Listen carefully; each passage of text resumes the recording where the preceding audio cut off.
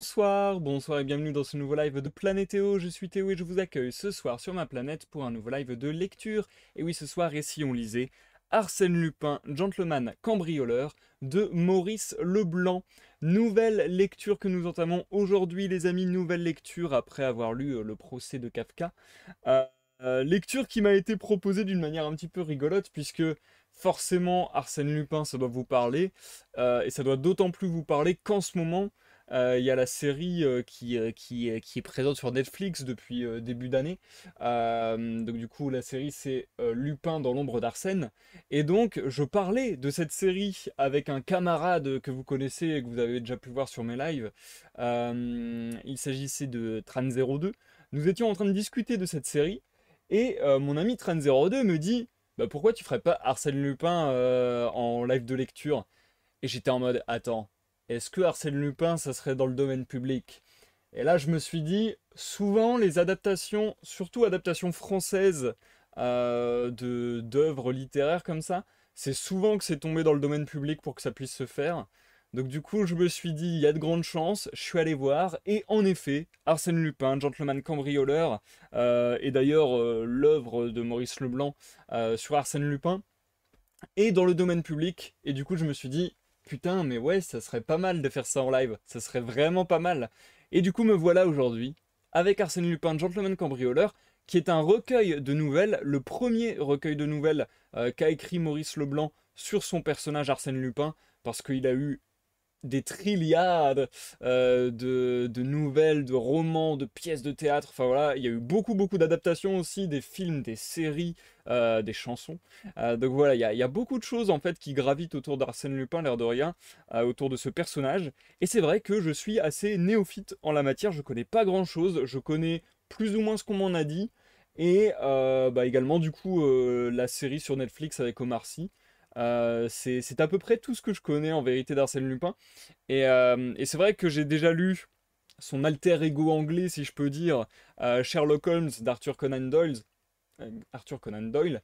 Je l'ai déjà lu deux fois, je crois, en live.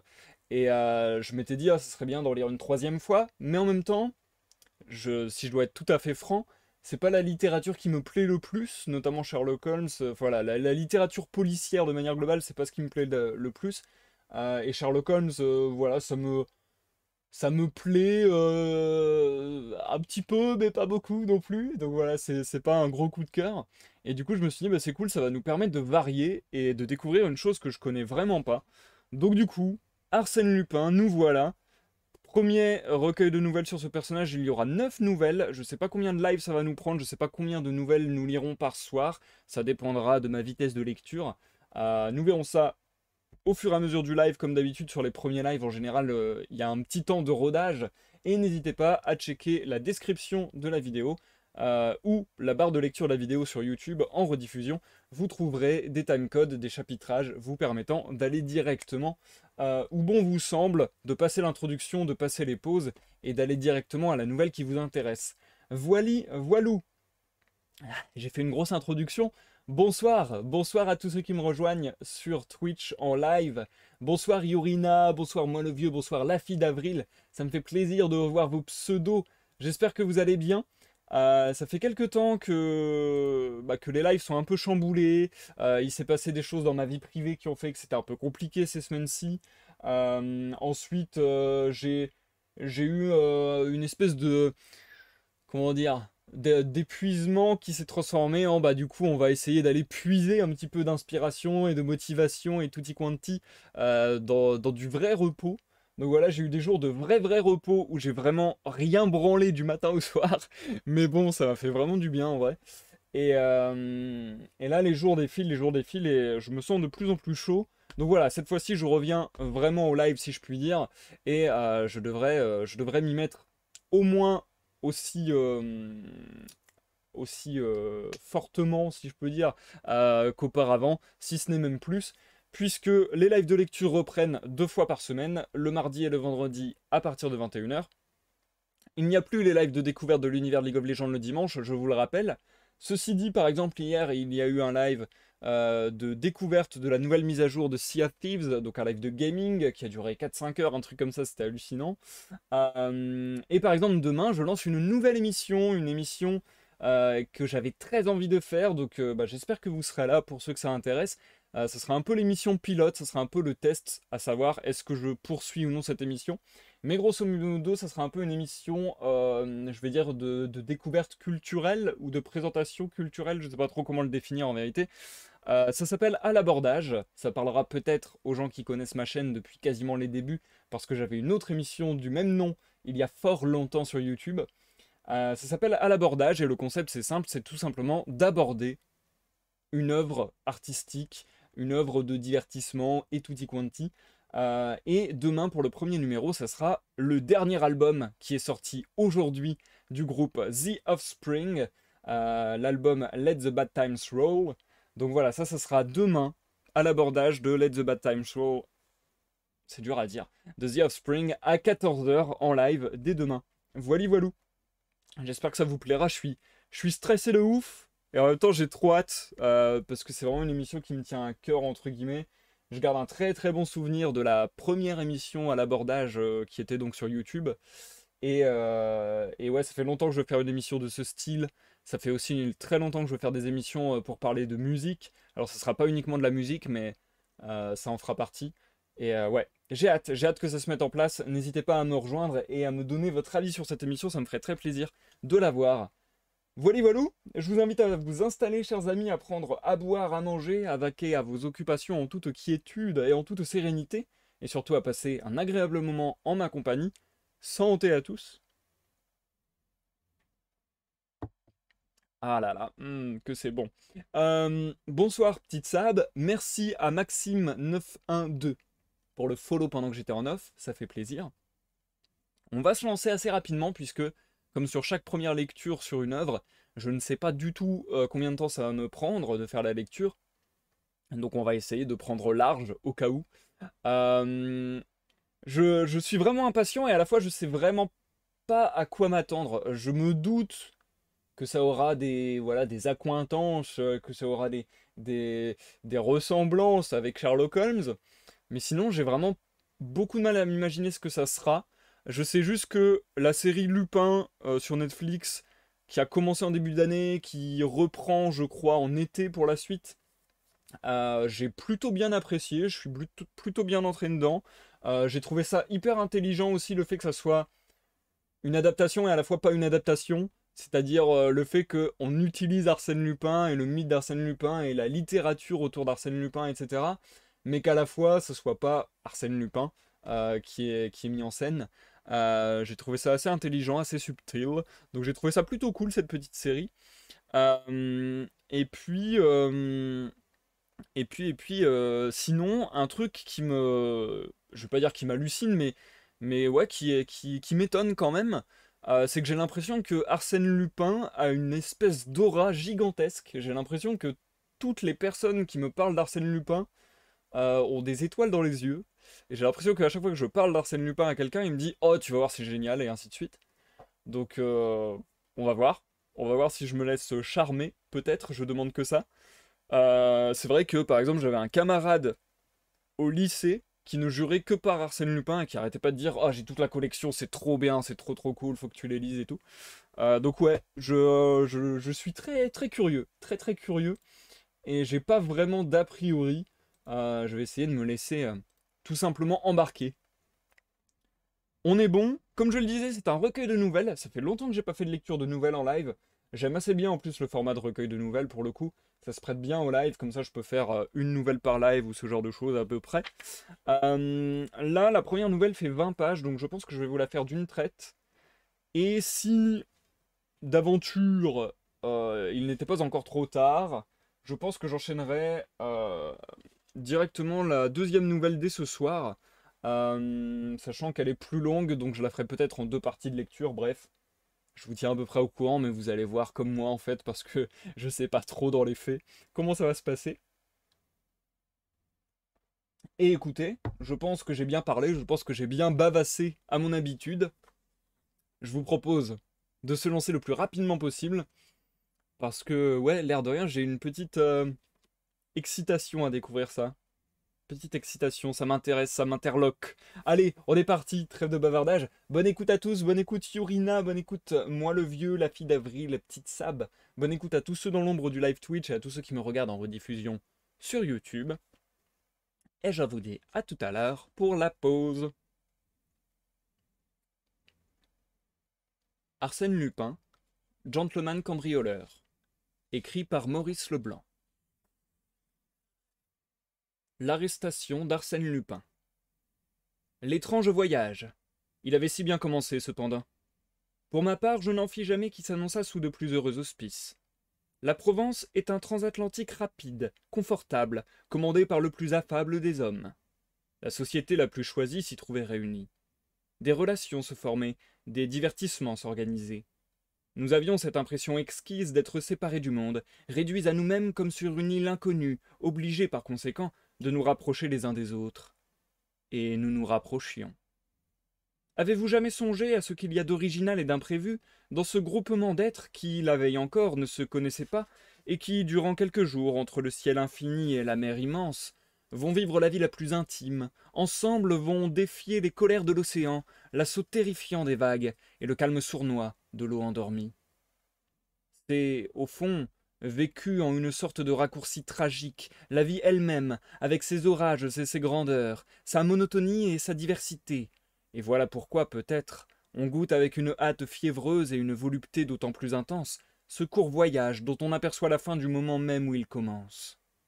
Mais depuis plusieurs années, quelque chose se passe qui ajoute singulièrement aux émotions de la traversée. La petite île flottante dépend encore de ce monde dont on se croyait affranchi. Un lien subsiste, qui se dénoue peu à peu en plein océan, et peu à peu en plein océan se renoue. Le télégraphe s'enfile, appel d'un autre univers d'où l'on recevrait des nouvelles de la façon la plus mystérieuse qui soit. L'imagination n'a plus la ressource d'évoquer des fils de fer au creux desquels glisse l'invisible message. Le mystère est plus insondable encore, plus poétique aussi, et c'est aux ailes du vent qu'il faut recourir pour expliquer ce nouveau miracle. Ainsi, les premières heures nous sentîmes-nous suivis, escortés, précédés même par cette voix lointaine qui, de temps en temps, chuchotait à l'un de nous quelques paroles de là-bas. Deux amis me parlèrent. Dix autres, vingt autres, nous envoyèrent à tous, à travers l'espace, leurs adieux attristés ou souriants.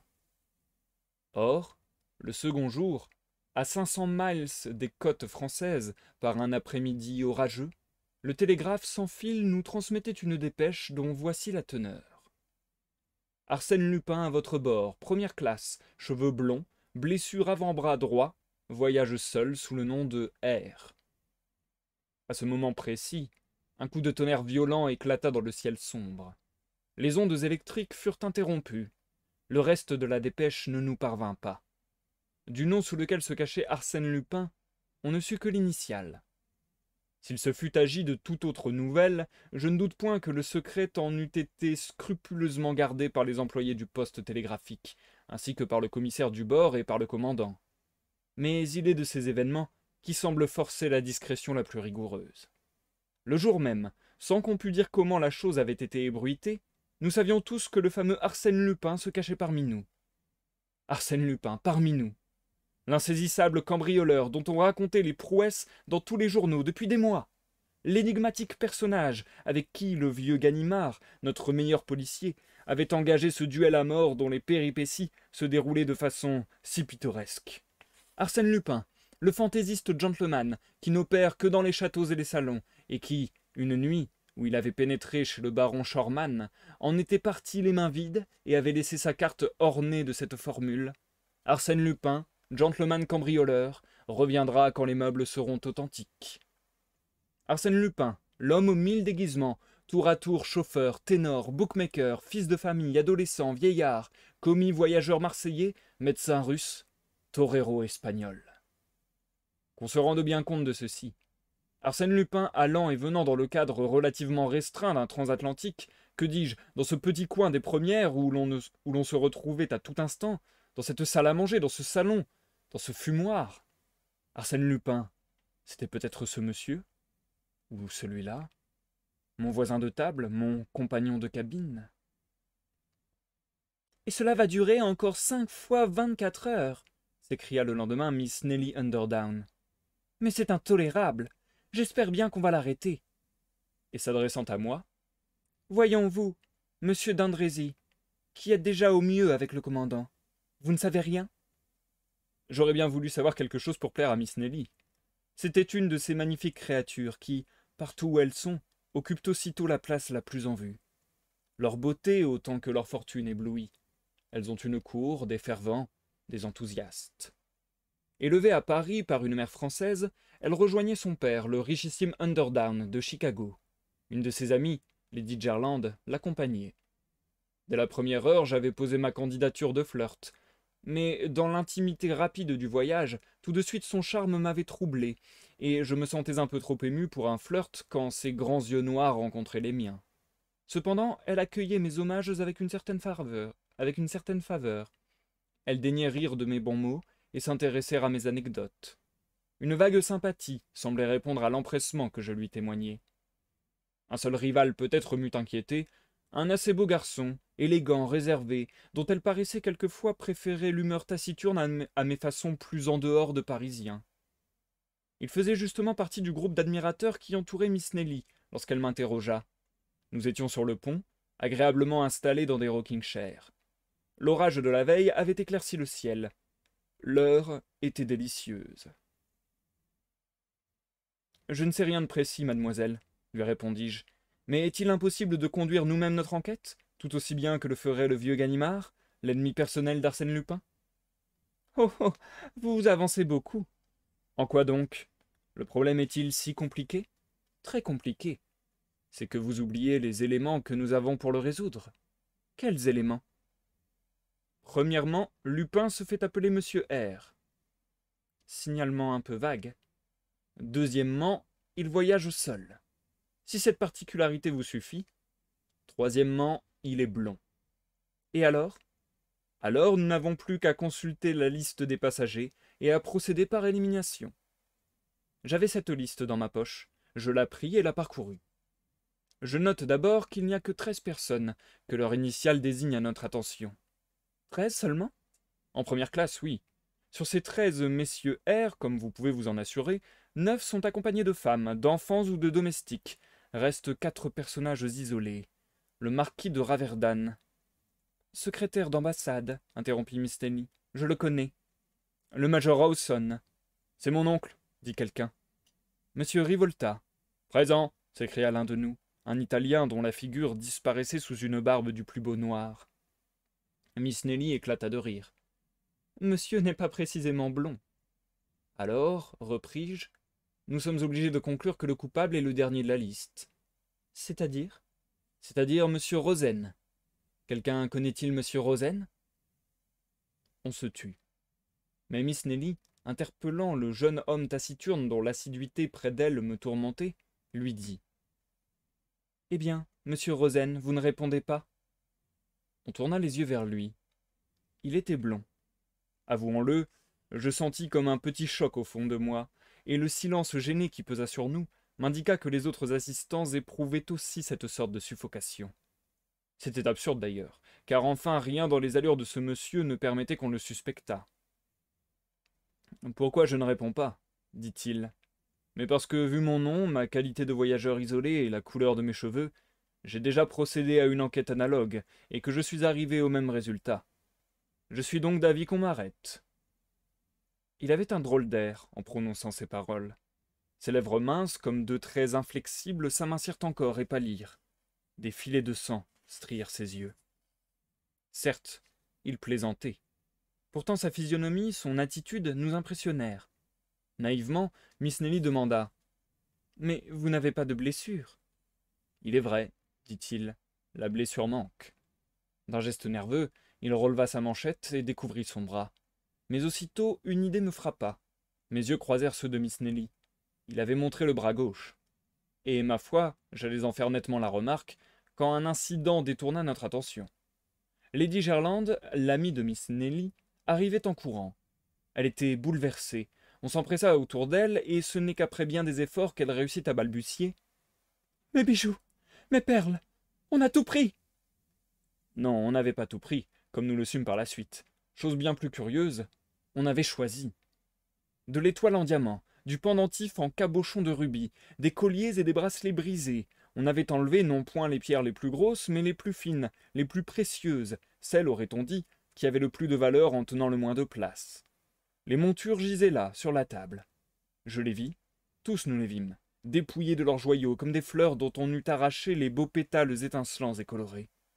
Et pour exécuter ce travail, il avait fallu, pendant l'heure où Lady Gerland prenait le thé, il avait fallu en plein jour, et dans un couloir fréquenté, fracturer la porte de la cabine, trouver un petit sac dissimulé à dessin au fond d'un carton à chapeau, l'ouvrir et choisir. Il n'y eut qu'un cri parmi nous. Il n'y eut qu'une opinion parmi tous les passagers. Lorsque le vol fut connu, c'est Arsène Lupin.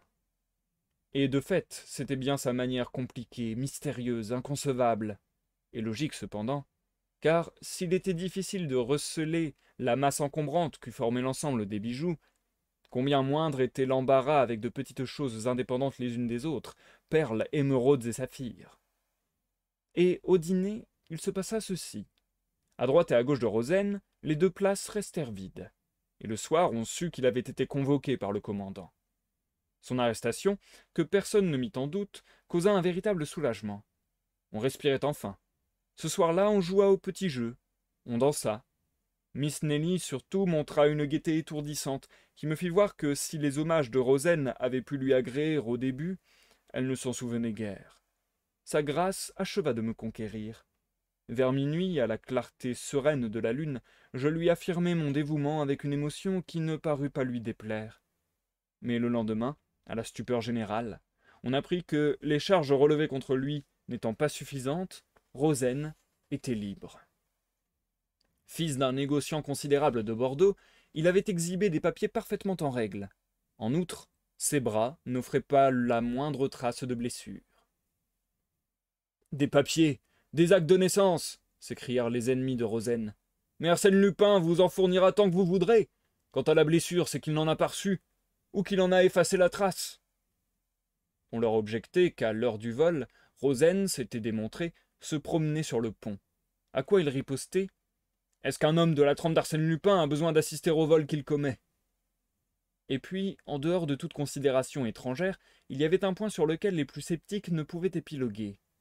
Qui, sauf Rosen, voyageait seul, était blond, et portait un nom commençant par R? Qui le télégramme désignait-il, si ce n'était Rosen Et quand Rosen, quelques minutes avant le déjeuner, se dirigea audacieusement vers notre groupe, Miss Nelly et Lady Gerland se levèrent et s'éloignèrent. C'était bel et bien de la peur. Une heure plus tard, une circulaire manuscrite passait de main en main parmi les employés du bord, les matelots, les voyageurs de toute classe. Monsieur Louis Rosen promettait une somme de dix mille francs à qui démasquerait Arsène Lupin ou trouverait le possesseur des pierres dérobées.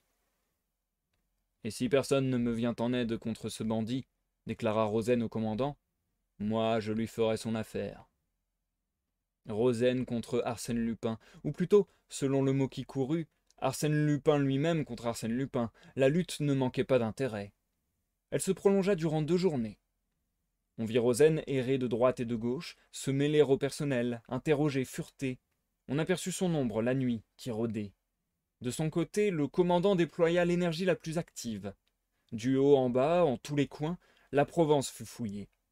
On perquisitionna dans toutes les cabines, sans exception, sous le prétexte fort juste que les objets étaient cachés dans n'importe quel endroit, sauf dans la cabine du coupable.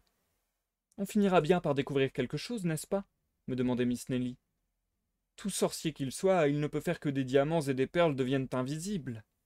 Mais si, lui répondis-je, ou alors il faudrait explorer la coiffe de nos chapeaux, la doublure de nos vestes, et tout ce que nous portons sur nous. Et lui montrant mon Kodak, un 9 x 12 avec lequel je ne me lassais pas de la photographier dans les attitudes les plus diverses. Rien que dans un appareil pas plus grand que celui-ci, ne pensez-vous pas qu'il y aurait place pour toutes les pierres précieuses de Lady Gerland? On affecte de prendre des vues, et le tour est joué. Mais cependant, j'ai entendu dire qu'il n'y a point de voleur qui ne laisse derrière lui un indice quelconque. Il y en a un, Arsène Lupin. Pourquoi? Pourquoi? Parce qu'il ne pense pas seulement au vol qu'il commet, mais à toutes les circonstances qui pourraient le dénoncer. Au début, vous étiez plus confiant. Mais depuis, je l'ai vu à l'œuvre. Et alors, selon vous? Selon moi, on perd son temps. Et de fait, les investigations ne donnaient aucun résultat, ou du moins celui qu'elles donnèrent ne correspondait pas à l'effort général. La montre du commandant lui fut volée. Furieux, il redoubla d'ardeur et surveilla de plus près encore Rosen, avec qui il avait eu plusieurs entrevues. Le lendemain, ironie charmante, on retrouvait la montre parmi les faux cols du commandant en second. Tout cela avait un air de prodige et dénonçait bien la manière humoristique d'Arsène Lupin, cambrioleur soit, soit, mais dilettante aussi. Il travaillait par goût et par vocation, certes, mais par amusement aussi. Il donnait l'impression du monsieur qui se divertit à la pièce qu'il fait jouer, et qui, dans la coulisse, rit à gorge déployée de ses traits d'esprit et des situations qu'il imagina. Décidément, c'était un artiste en son genre, et quand j'observais Rosen sombre et opiniâtre, et que je songeais au double rôle que tenait sans doute ce curieux personnage, je ne pouvais en parler sans une certaine admiration. Or, l'avant-dernière nuit, l'officier de quart entendit des gémissements à l'endroit le plus obscur du pont. Il s'approcha. Un homme était étendu, la tête enveloppée dans une écharpe grise très épaisse, les poignets ficelés à l'aide d'une fine cordelette. On le délivra de ses liens, on le releva, des soins lui furent prodigués. Cet homme, c'était Rosen. C'était Rosen, assailli au cours d'une de ses expéditions, terrassé et dépouillé. Une carte de visite fixée par une épingle à son vêtement portait ces mots. Arsène Lupin accepte avec reconnaissance les dix mille francs de monsieur Rosen. En réalité, le portefeuille dérobé contenait vingt billets de mille. Naturellement, on accusa le malheureux d'avoir simulé cette attaque contre lui-même, mais outre qu'il lui eût été impossible de se lier de cette façon, il fut établi que l'écriture de la carte différait absolument de l'écriture de Rosen, et ressemblait au contraire à s'y méprendre à celle d'Arsène Lupin, telle que la reproduisait un ancien journal trouvé à bord. Ainsi donc Rosen n'était plus Arsène Lupin. Rosen était Rosen, fils d'un négociant de Bordeaux et la présence d'Arsène Lupin s'affirmait une fois de plus. Et par quel acte redoutable Ce fut la terreur. On n'osa plus rester seul dans sa cabine, et pas davantage s'aventurer aux endroits trop écartés. Prudemment, on se groupait entre gens sûrs les uns des autres, et encore une défiance instinctive divisait les plus intimes. C'est que la menace ne provenait pas d'un individu isolé, et par là même moins dangereux. Arsène Lupin, maintenant, c'était. c'était tout le monde. Notre imagination surexcitée lui attribuait un pouvoir miraculeux et illimité.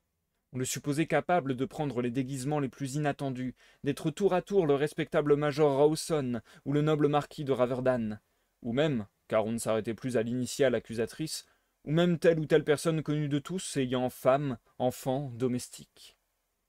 Les premières dépêches sans fil n'apportèrent aucune nouvelle. Du moins le commandant ne nous en fit point part, et un tel silence n'était pas pour nous rassurer. Aussi, le dernier jour parut-il interminable. On vivait dans l'attente anxieuse d'un malheur. Cette fois, ce ne serait plus un vol, ce ne serait plus une simple agression, ce serait le crime, le meurtre. On n'admettait pas qu'Arsène Lupin s'en tint à ces deux larcins insignifiants. Maître absolu du navire, les autorités réduites à l'impuissance, il n'avait qu'à vouloir, tout lui était permis. Il disposait des biens et des existences. Heure délicieuse pour moi, je l'avoue, car elles me valurent la confiance de Miss Nelly. Impressionnée par tant d'événements, de nature déjà inquiète, elle chercha spontanément à mes côtés une protection, une sécurité que j'étais heureux de lui offrir. Au fond, je bénissais Arsène Lupin. N'était-ce pas lui qui nous rapprochait?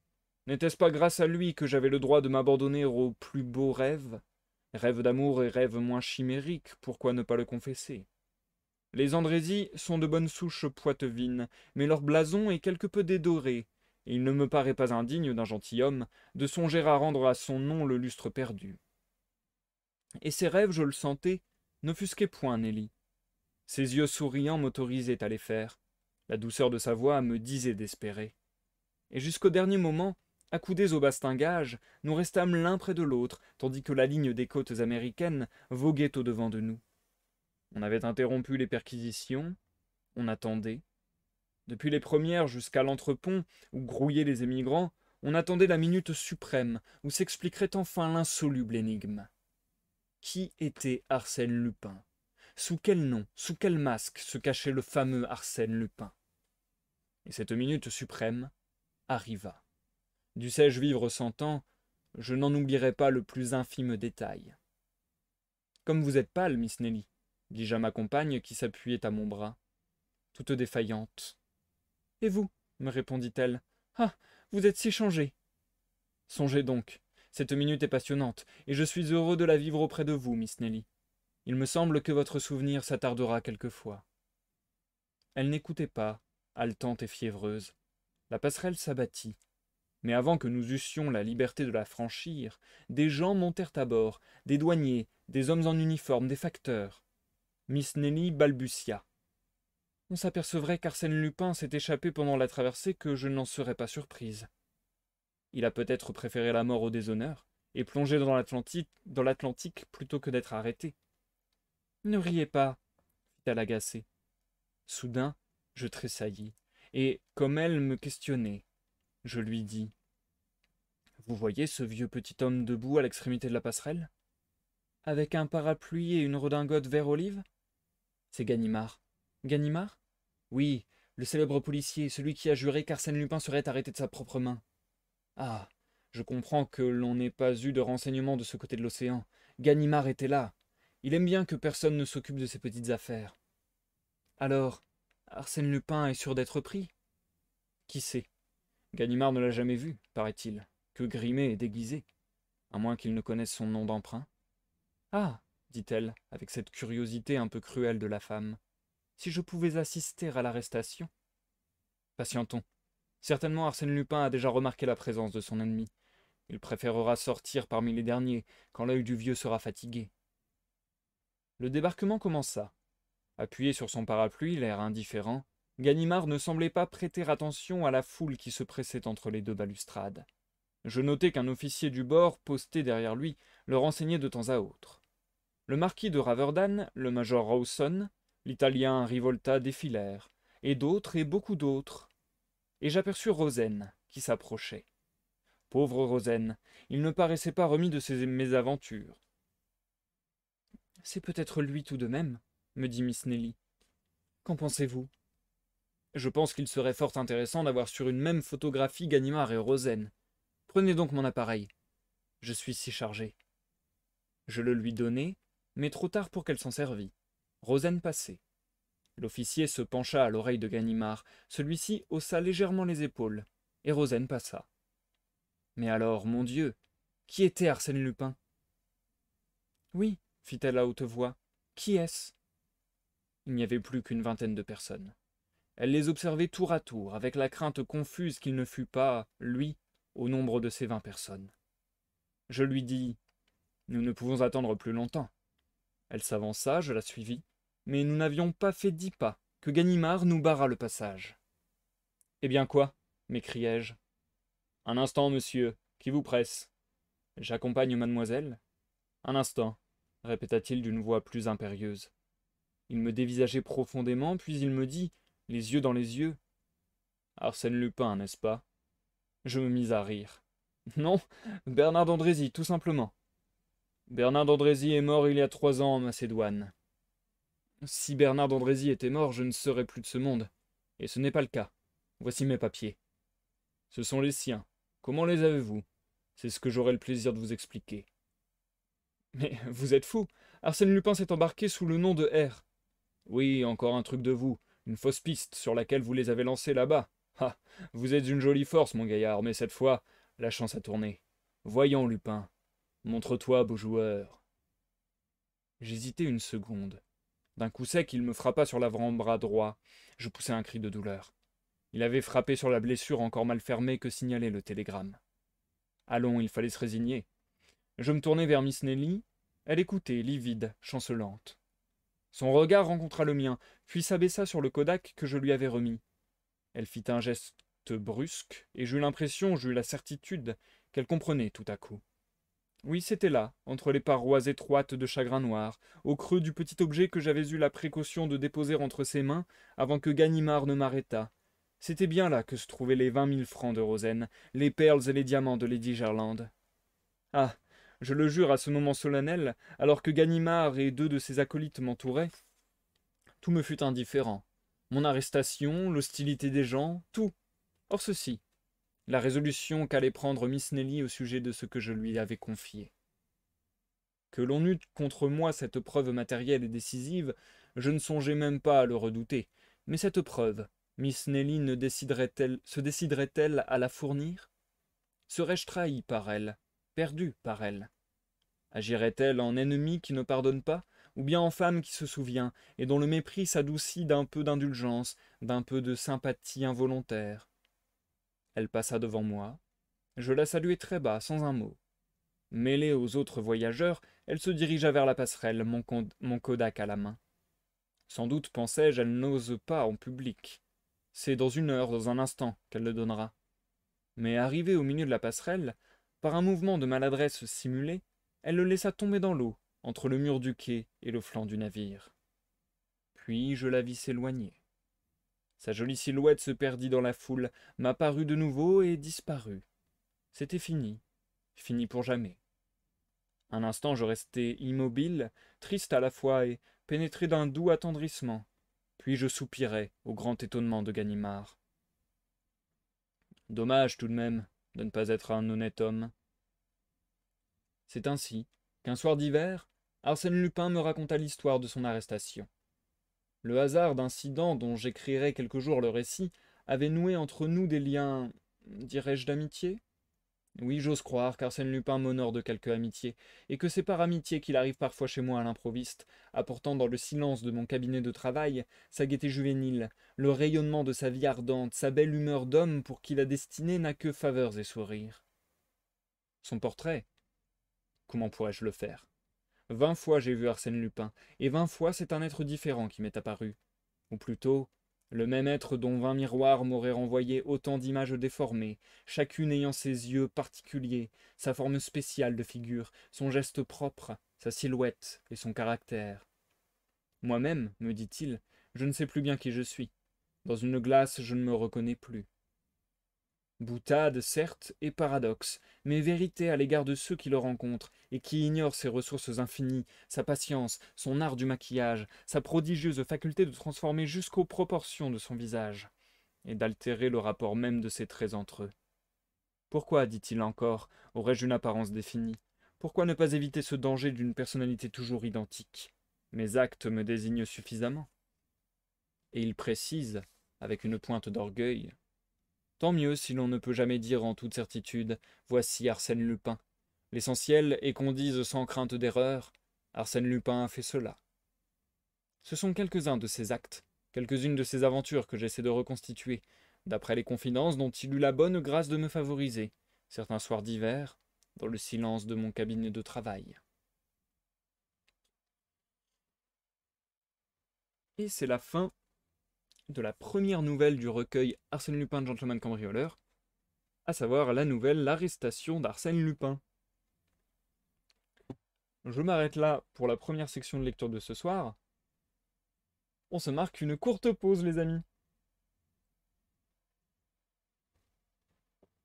Sympa, sympa, sympa.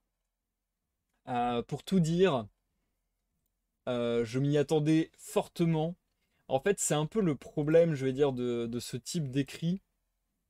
C'est que euh, je trouve que, euh, comment dire, si on t'en a parlé un petit peu, etc., tu peux facilement t'imaginer les ressorts.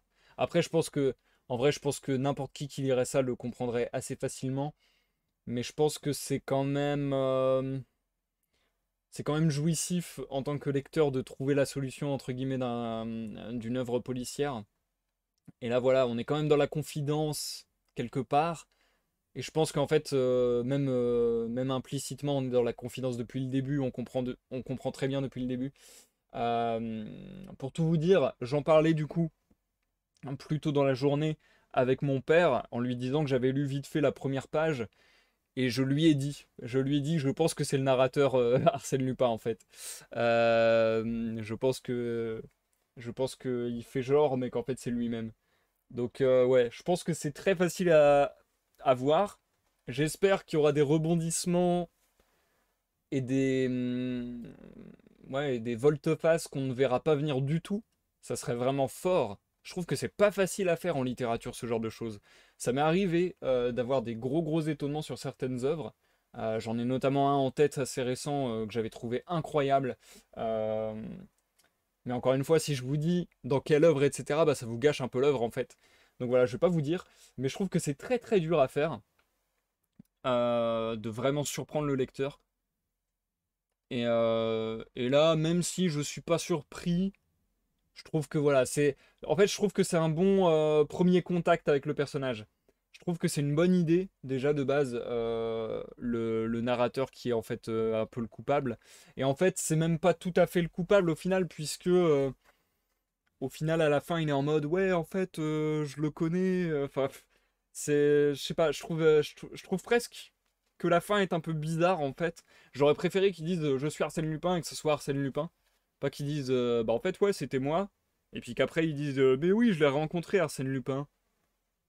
Euh, mais en fait, c'est vraiment lui ou c'est pas vraiment lui? En fait, il y, a quand même un flou. Je sais pas si je, suis le seul à, être dans le flou. Mais il y a quand même un flou parce que je me dis quand même que c'est lui en fait. Je me dis quand même qu'il n'y a pas deux personnes qui existent. Je sais pas. On nous dit qu'il a un ami. Euh, ça me fait un peu forcément même penser à, à Diop dans la série Lupin du coup, qui pareil a un ami pour l'aider à se déguiser, tout ça, tout ça. Pas pas à se déguiser, mais avoir des objets de valeur et tout, là, je sais plus exactement le délire, mais voilà. Ouais, il y a des bruits de bestioles dehors qui sont assez flippants. Incroyable. Euh, mais ouais. Parce que limite, à la fin, je me dis, euh, ça pourrait tout, ça pourrait être tout aussi bien euh, Lupin qui parle de lui à la troisième personne en mode un peu mégalo, en mode je me regarde dans les miroirs et machin et machin, enfin ouais. J'ai du mal à dire. Euh, ceci dit, ça me fait penser à, une chose que me disait justement mon père par rapport à la série et par rapport à Arsène Lupin. C'est marrant parce que quand je lui ai dit ça, il m'a dit bah, dans la série, il y a une voix off. Il y a une voix off que fait Omar Sy euh, pour parler euh, bah, du coup euh, de sa propre aventure et de son propre personnage. Donc est-ce que ça n'a pas été inspiré directement de là aussi le principe de voilà de d'avoir une, une narration par Arsène Lupin lui-même entre guillemets. Bon voilà, je mets des guillemets partout parce que les messages les, les pardon, les personnages se mélangent. C'est un petit peu le principe du personnage d'ailleurs. mais ouais. Je sais pas trop. Pour le moment, je suis assez sur ma faim, je dois avouer. Pour le moment, je suis assez sur ma faim parce que j'ai trouvé ça sympathique, mais j'ai trouvé ça assez basique, entre guillemets. J'ai trouvé ça sympathique, euh, voilà, on se laisse aller, euh, c'est. C'est moyen, moyen plus pour moi. Vraiment, selon mes goûts personnels. C'est moyen, moyen plus. Je trouve pas ça. Euh, ça m'a pas cassé la tête, quoi. Mais, mais j'attends de voir, encore une fois, parce que je me dis, c'est que le premier contact avec le personnage. Donc on veut essayer de te le montrer, euh, voilà, on veut essayer de te l'exposer, on veut essayer de, t'apprendre qui il est et de te mettre en contact avec lui de manière sympathique pour que tu te dises ah ok c'est le boss, il gruge tout le monde, euh, il est sympa et tout. Et en plus, pas tant que ça, puisque au final, première aventure de lui, il se fait arrêter. Donc au final, euh, c'est marrant parce que sa légende était déjà faite, il était déjà hyper connu pour ça et tout. Et au final, première aventure de lui, il se fait arrêter, donc c'est même plutôt euh, c'est même plutôt un espèce de contre-pied qui est pris là. Mais, euh, mais ouais. Et j'attends de voir euh, de quelle ingéniosité il va pouvoir faire preuve dans le futur. Parce que... Ah, je sais pas.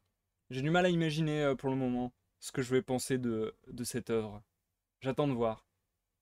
et du coup, bonsoir croûte de genoux, bienvenue sur le live, j'espère que tu vas bien. dans l'imaginaire collectif, Arsène, c'est vachement grand, du coup tu te représentes bien le truc. Euh, ouais, c'est vrai que ouais, c'est vrai que je pense que l'imagerie populaire euh, nous donne beaucoup d'éléments pour euh, pour se le représenter. Je trouve marrant qu'il ait le nom Lupin parce que Lupin c'est aussi le nom d'une fleur. Alors ça, je suis trop pas renseigné en, en botanique. Je ne peux pas parler de ça du tout. je le vois pas comme ça aussi mégalo. Ah, moi, je le vois un peu comme ça, perso. Alors, peut-être que c'est une déformation euh, de ce que j'imagine euh, de, Sherlock Holmes. En fait, j'ai l'impression qu'il y a un peu toujours, j'exagère, hein, mais j'ai l'impression que sur ces espèces d'enquêteurs géniaux ou de, cambrioleurs géniaux du coup, mais en tout cas de, voilà, de personnages euh, très doués dans des romans policiers ou dans des séries policières et ainsi de suite. Euh, dans ces personnages doués de, de génie, d'ingéniosité, j'ai l'impression qu'il y a toujours justement une petite part de mégalomanie. Euh, où ils se prennent pas pour de la merde et où ils savent que et où ils savent qu'ils sont meilleurs que tout le monde et qu'ils baissent tout le monde euh, à tel point qu'ils s'amusent un petit peu à aller euh, à aller titiller et à aller aller jouer avec les limites de ce qu'ils peuvent faire ça a été le cas d'ailleurs ici, hein. Le fait qu'en fait euh, il dévoile directement à une inconnue, enfin une quasi inconnue, à Miss Nelly, euh, le fait que euh, ouais ouais euh, ouais ouais, on aurait pu cacher tout à fait tout ça dans dans un appareil photo par exemple. Et ça pareil, dès qu'il l'a dit, je me suis dit ah bah ça y est c'est bon, toutes les pierres sont cachées, toutes les pierres précieuses sont cachées dans l'appareil photo. En fait c'est ça le truc. Je pense que c'est là où je, où je suis un peu sur ma faim c'est que pour le moment, je trouve que tout était assez téléphoné quand même. Je trouve que tout se percevait très rapidement. Et j'avais pas encore. J'ai pas eu encore assez à mon goût ce sentiment de, hum, de confidence euh, assez jouissive où tu, es avec le narrateur, où tu es avec le personnage et où tu es en mode Ah, je sais que tu es en train d'avoir tout le monde, c'est bien joué. Là, j'ai pas eu encore ce sentiment trop, je, trouve. Euh, la série vaut le coup, pas encore vue. Alors, croûte de genoux, je sais que les avis ont été euh, très partagés de ce que j'ai compris. Euh, en fait, j'ai l'impression que globalement, ça a eu un succès énorme, la série euh, Lupin dans l'ombre d'Arsène. Mais j'ai quand même aussi vu beaucoup de gens se moquer de plein de choses, euh, des effets spéciaux, du jeu d'acteur de de certaines personnes. Moi, globalement, je suis pas professionnel de série ou quoi que ce soit, loin de là. Mais globalement, j'ai trouvé que c'était une bonne série, que ça se regardait bien. Euh, je l'ai regardé genre un épisode par jour, euh, ça, s'est bien, bien enchaîné, quoi. Hmm, je dirais pas que c'est dans mes séries favorites. Je dirais pas que c'est dans mes séries euh, détestées. Ça a été une bonne, ça a été une bonne découverte et j'ai bien l'intention de, voir la suite. Donc, qui sort cet été, donc je crois. Donc ouais, franchement, je trouve que ça vaut le coup. Allez, je déteste euh, le principe de notes, mais euh, pour donner un peu, euh, sans que je doive épiloguer, parce que je suis pas très chaud sur commenter du Cinoche comme ça, surtout que la série, ça commence à faire longtemps que je l'ai pas vue. Mais ouais, admettons, je vais dire la série, je lui mets un 6, 6,5 sur 10, un truc comme ça, voire 7. C'était sympa. C'était sympa sans plus pour moi. Enfin, c'était, c'était, ouais, voilà, c'était un peu plus que moyen. C'était sympa. Bref. Euh, alors, j'ai pas vu ça, croûte de genoux. Moi, j'ai vu beaucoup de gens dire que euh, ils étaient euh, pas très fans du jeu d'acteur de Marcy. Je trouve que euh, il y a des moments où je trouve que ouais, ça fait un peu trop peut-être, mais euh, globalement, je trouve que ça passe plutôt bien. Je sais pas, j'ai assez bien aimé perso. J'ai pas d'avis très euh, détaillé, je dois avouer, sur la série. Je, je, ça fait longtemps que je l'ai vue et j'ai pas, ouais, c'est, j'ai pas suffisamment aimé non plus pour que je sois à fond dedans, quoi. Euh, c'est juste, euh, c'était sympa. Voilà. Bonsoir Chéro, bienvenue. Bienvenue sur le live, comment tu vas, cher ami? Et oui, on fait de la lupinologie. Mais c'est ça en fait qui est marrant, c'est qu'il y a une espèce d'aura comme ça autour de Lupin, c'est incroyable. Il y a vraiment des gens qui sont hardcore fans, quoi. Euh, j'étais allé à Étretat il y a quelques temps, il y a quelques années, et pareil, direct, euh, direct, bah, j'y étais allé avec ma mère, et direct, ma mère était en mode, Ah, tu savais qu'ici, euh, il y avait la maison de Maurice Leblanc, l'auteur de Arsène Lupin, et ainsi de suite. Enfin, je sais pas, il y y a un truc comme ça, très, très marrant, que je j'ai pas l'impression de retrouver sur beaucoup de, sur beaucoup de, de, de starifi... Enfin, c'est presque de la starification, ou je sais pas, ou un mythe, une espèce de légende comme ça. J'ai pas l'impression qu'il y ait ça sur beaucoup de personnages publics français, encore moins des écrivains, encore moins des auteurs. Mais euh, c'est marrant. C'est marrant. Il y a un petit délire. Euh, j'ai tout loupé, c'est ça, nous dit Chéro. Alors, j'ai lu la première nouvelle et je vais lire la deuxième dans quelques instants. D'ailleurs, je pense que la pause a assez duré. Donc je pense que je vais m'y remettre pas plus tard que tout de suite. Euh, par contre, j'ai pas du tout regardé, je crois que ça fait 30 pages. Alors, 27 à 57, donc ouais. Euh, donc du coup, je vais lire 15 pages, puis 15 pages, sinon ça va être vraiment long. Comment je vais m'organiser? Euh, Donc ça fait 43. Hop, hop, hop. Est-ce qu'on est en plein dialogue? Non. Oh, c'est parfait. Il y a même une, il y a même une découpe prévue par Maurice Leblanc à la page 43. Comme le monde est bien fait. c'est parfait. Le mythe de Sherlock et Lupin. Bah, c'est marrant aussi parce que il y a, beaucoup de gens qui, considèrent Lupin comme le Sherlock euh, à la française, ou bien qui considèrent Maurice Leblanc comme euh, l'Arthur Conan Doyle euh, à la française. Sous-entendu, il est un peu moins bon.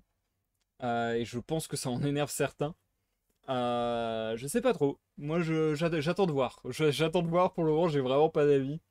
mais je sais que cette cette dualité, je sais pas si on peut dire que c'est une dualité, mais voilà, ce, ce, duo Sherlock-Lupin, on va en entendre parler dans ce recueil de nouvelles, justement. Donc ça va être marrant aussi. Bref, trêve de bavardage.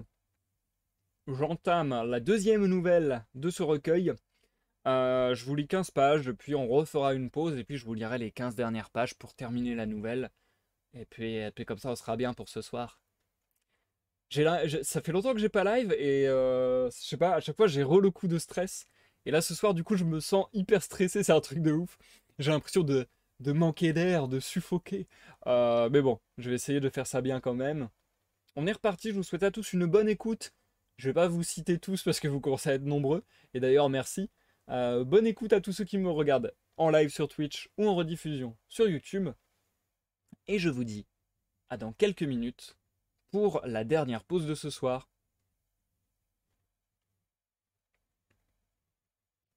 Arsène Lupin en prison. Il n'est point de touriste digne de ce nom qui ne connaisse les bords de la Seine et qui n'ait remarqué, en allant des ruines de Jumièges aux ruines de Saint-Vendry, l'étrange petit château féodal du Malaquis, si fièrement campé sur sa roche en pleine rivière. L'arche d'un pont le relie à la route. La base de ces tourelles sombres se confond avec le granit qui le supporte, bloc énorme détaché d'on ne sait quelle montagne, et jeté là par quelque formidable convulsion. Tout autour, l'eau calme du grand fleuve joue parmi les roseaux, et des bergeronnettes tremblent sur la crête humide des cailloux. L'histoire du Malaquis est rude, comme son nom, revêche comme sa silhouette. Ce ne furent que combats, sièges, assauts, rapines et massacres. Aux veillées du pays de Caux, on évoque en frissonnant les crimes qui s'y commirent. On raconte de mystérieuses légendes. On parle du fameux souterrain qui conduisait jadis à l'abbaye de, de Jumièges et au manoir d'Agnès Sorel, la belle amie de Charles VII. Dans cet ancien repère de héros et de brigands habite le baron Nathan Cahorn, le baron Satan, comme on l'appelait jadis, à la bourse, où il s'est enrichi un peu trop brusquement. Les seigneurs du Malaquis, ruinés, ont dû lui vendre pour un morceau de pain la demeure de leurs ancêtres. Il y a installé ses admirables collections de meubles et de tableaux, de faïences et de bois sculptés. Il y vit seul avec trois vieux domestiques. Nul n'y pénètre jamais. Nul n'a jamais contemplé dans le décor de ces salles antiques les trois rubins ce qu'il possède, ses deux Watteau, sa chaire de Jean Goujon, et tant d'autres merveilles arrachées à coups de billets de banque aux plus riches habitués des ventes publiques. Le baron Satan a peur. Il a peur non point pour lui, mais pour les trésors accumulés avec une passion si tenace, et la perspicacité d'un amateur que les plus madrés des marchands ne peuvent se vanter d'avoir induit en erreur. Il les aime. Il les aime âprement comme un avare, jalousement comme un amoureux. Chaque jour, au coucher du soleil, les quatre portes bardées de fer qui commandent les deux extrémités du pont et l'entrée de la cour d'honneur sont fermées et verrouillées. Au moindre choc, des sonneries électriques vibreraient dans le silence. Du côté de la Seine, rien à craindre. Le roc s'y dresse à pic. Or, un vendredi de septembre, le facteur se présenta comme d'ordinaire à la tête du pont. Et selon la règle quotidienne, ce fut le baron qui entrebâilla le lourd battant. Il examina l'homme aussi minutieusement que s'il ne connaissait pas déjà depuis des années cette bonne face réjouie et ses yeux narquois de paysan, et l'homme lui dit en riant C'est toujours moi, monsieur le baron. Je ne suis pas un autre qui aurait pris ma blouse et ma casquette. Sait-on jamais murmura Cahorn. Le facteur lui remit une pile de journaux, puis il ajouta Et maintenant, monsieur le baron, il y a du nouveau? Du nouveau Une lettre, et recommandée encore. Isolé, sans amis ni personne qui s'intéressât à lui, jamais le baron ne recevait de lettres, et tout de suite cela lui parut un événement de mauvais augure, dont il y avait lieu de s'inquiéter. Quel était ce mystérieux correspondant qui venait le relancer dans sa retraite? Il faut signer, monsieur le baron, il signa en maugréant. Puis il prit la lettre, attendit que le facteur eût disparu au tournant de la route, et après avoir fait quelques pas de long en large, il s'appuya contre le parapet du pont et déchira l'enveloppe. Elle portait une feuille de papier quadrillé avec cet en-tête manuscrit. Prison de la Santé, Paris. Il regarda la signature. Arsène Lupin. Stupéfait, il lut. Monsieur le baron, il y a dans la galerie qui réunit vos deux salons un tableau de Philippe de Champaigne d'excellente facture et qui me plaît infiniment. Vos Rubens sont aussi de mon goût, ainsi que votre plus petit Watteau.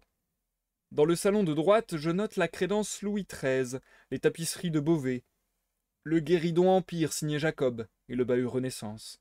Dans celui de gauche, toute la vitrine des bijoux et des miniatures. Pour cette fois, je me contenterai de ces objets qui seront, je crois, d'un écoulement facile. Je vous prie donc de les faire emballer convenablement et de les expédier à mon nom, port payé, en gare de Batignolles, avant huit jours. Faute de quoi, je ferai procéder moi-même à leur déménagement dans la nuit du mercredi 27 au jeudi 28 septembre. Et, comme de juste, je ne me contenterai pas des objets sus indiqués. Veuillez excuser le petit dérangement que je vous cause et accepter l'expression de mes sentiments de respectueuse considération. Arsène Lupin. PS, surtout ne pas m'envoyer le plus grand des Watteau. Quoique vous l'ayez payé trente mille francs à l'hôtel des ventes, ce n'est qu'une copie, l'original ayant été brûlé sous le directoire par Barras un soir d'orgie. Consultez les mémoires inédits de Garat. Je ne tiens pas non plus à la châtelaine Louis XV, dont l'authenticité me semble douteuse. Cette, lettre bouleversa le baron Cahorn. Pardon, cette lettre bouleversera le baron Cahorn signée de tout autre, elle l'eût déjà considérablement alarmé, mais signée d'Arsène Lupin. Lecteur assidu des journaux, au courant de tout ce qui se passait dans le monde en fait de vol et de crime, il n'ignorait rien des exploits de l'infernal cambrioleur. Certes, il savait que Lupin, arrêté en Amérique par son ennemi Ganimard, était bel et bien incarcéré, que l'on instruisait son procès, avec quelle peine. Mais il savait aussi que l'on pouvait s'attendre à tout de sa part. D'ailleurs, cette connaissance exacte du château, de la disposition des tableaux et des meubles, était un indice des plus redoutables. Qui l'avait renseigné sur des choses que nul n'avait vues? Le baron leva les yeux et contempla la silhouette farouche du Malaquis, son piédestal abrupt, l'eau profonde qui l'entoure, et haussa les épaules. Non, décidément, il n'y avait point de danger. Personne au monde ne pouvait pénétrer jusqu'au sanctuaire inviolable de ses collections. Personne soit, mais Arsène Lupin. Pour Arsène Lupin, est-ce qu'il existe des portes, des ponts-levis, des murailles? À quoi servent les obstacles les mieux imaginés, les précautions les plus habiles, si Arsène Lupin a décidé d'atteindre le but? Le soir même, il écrivit au procureur de la République de Rouen. Il envoyait la lettre de menace et réclamait aide et protection. La réponse ne tarda point. Le nommé Arsène Lupin, étant actuellement détenu à la santé, Surveillé de près et dans l'impossibilité d'écrire, la lettre ne pouvait être que l'œuvre d'un mystificateur. Tout le démontrait, la logique et le bon sens, comme la réalité des faits. Toutefois, et par excès de prudence, on avait commis un expert à l'examen de l'écriture, et l'expert déclarait que, malgré certaines analogies, cette écriture n'était pas celle du détenu. Malgré certaines analogies, le baron ne retint que ces trois mots effarants, où il voyait l'aveu d'un doute qui, à lui seul, aurait dû suffire pour que la justice intervînt. Ses craintes s'exaspérèrent. Il ne cessait de relire la lettre. Je ferai procéder moi-même au déménagement, et cette date précise, la nuit du mercredi 27 au jeudi 28 septembre. Soupçonneux et taciturne, il n'avait pas osé se confier à ses domestiques, dont le dévouement ne lui paraissait pas à l'abri de toute épreuve. Cependant, pour la première fois depuis des années, il éprouvait le besoin de parler, de prendre conseil.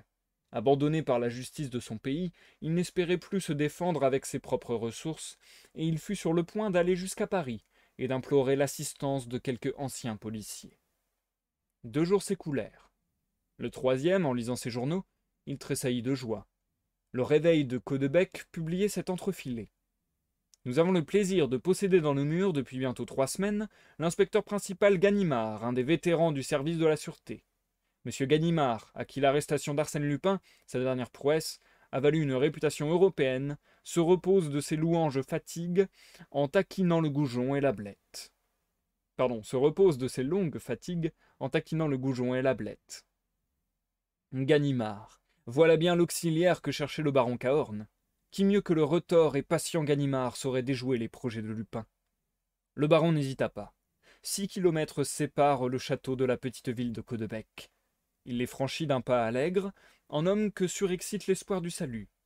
Après plusieurs tentatives infructueuses pour connaître l'adresse de l'inspecteur principal, il se dirigea vers les bureaux du réveil, situés au milieu du quai. Il y trouva le rédacteur de l'entrefilet qui, s'approchant de la fenêtre, s'écria Ganimard, mais vous êtes sûr de le rencontrer le long du quai, la ligne à la main? C'est là que nous avons lié connaissance, et que j'ai lu par hasard son nom gravé sur sa canne à pêche. Tenez, le petit vieux que l'on aperçoit là-bas, sous les arbres de la promenade. En redingote et en chapeau de paille? Justement Ah Un drôle de type pas causeur et plutôt bourru. Cinq minutes après, le baron abordait le célèbre Ganimard, se présentait, et tâchait d'entrer en conversation. N'y parvenant point, il aborda franchement la question et exposa son cas. L'autre écouta, immobile, sans perdre de vue le poisson qu'il guettait, puis il tourna la tête vers lui, le toisa des pieds à la tête d'un air de profonde pitié, et prononça Monsieur, ce n'est guère l'habitude de prévenir les gens que l'on veut dépouiller. Arsène Lupin en particulier ne commet pas de pareilles bourdes. Cependant, monsieur, si j'avais le moindre doute, croyez bien que le plaisir de fourrer encore dedans ce cher Lupin l'emporterait sur toute autre considération. Par malheur, ce jeune homme est sous les verrous. S'il s'échappe, on ne s'échappe pas de la santé. Mais lui, lui pas plus qu'un autre. Cependant, eh bien, s'il s'échappe, tant mieux, je le repincerai. En attendant, dormez sur vos deux oreilles, et n'effarouchez pas davantage ces tablettes. La conversation était finie. Le baron retourna chez lui, un peu rassuré par l'insouciance de Ganimard. Il vérifia les serrures, espionna les domestiques, et quarante-huit heures se passèrent pendant lesquelles il arriva presque à se persuader que, somme toute, ses craintes étaient chimériques. Non, décidément, comme l'avait dit Ganimard, on ne prévient pas les gens que l'on veut dépouiller. La date approchait. Le matin du mardi, veille du 27, rien de particulier. Mais à trois heures, un gamin sonna. Il apportait une dépêche. Aucun colis en gare des Batignolles. Préparez tout pour demain soir. Arsène. De nouveau, ce fut l'affolement, à tel point qu'il se demanda s'il ne céderait pas aux, exigences d'Arsène Lupin. Il courut à Caudebec. Ganimard pêchait à la même place, assis sur un pliant. Sans un mot, il lui tendit le télégramme. Et après? fit l'inspecteur. Après? Mais c'est pour demain. Quoi? Le cambriolage? Le pillage de mes collections? Ganimard déposa sa ligne, se tourna vers lui et, les bras croisés sur sa poitrine, s'écria d'un ton d'impatience. Ah ça. Est-ce que vous imaginez que je vais m'occuper d'une histoire aussi stupide? Quelle indemnité demandez-vous pour passer au château la nuit du 27 au 28 septembre? Pas un sou. Fichez-moi la paix. Fixez votre prix. Je suis riche, extrêmement riche. La brutalité de l'offre déconcerta Ganimard, qui reprit, plus calme. Je suis ici en congé, et je n'ai pas le droit de me mêler. Personne ne le saura. Je m'engage, quoi qu'il arrive, à garder le silence. Oh, il n'arrivera rien. Eh bien, voyons, trois mille francs, est-ce assez? L'inspecteur huma une prise de tabac, réfléchit et laissa tomber. Soit. Seulement je dois vous déclarer loyalement que c'est de l'argent jeté par la fenêtre. Ça m'est égal. En ce cas, et puis après tout, est-ce qu'on sait avec ce diable de Lupin? Il doit avoir à ses ordres toute une bande. Êtes-vous sûr de vos domestiques?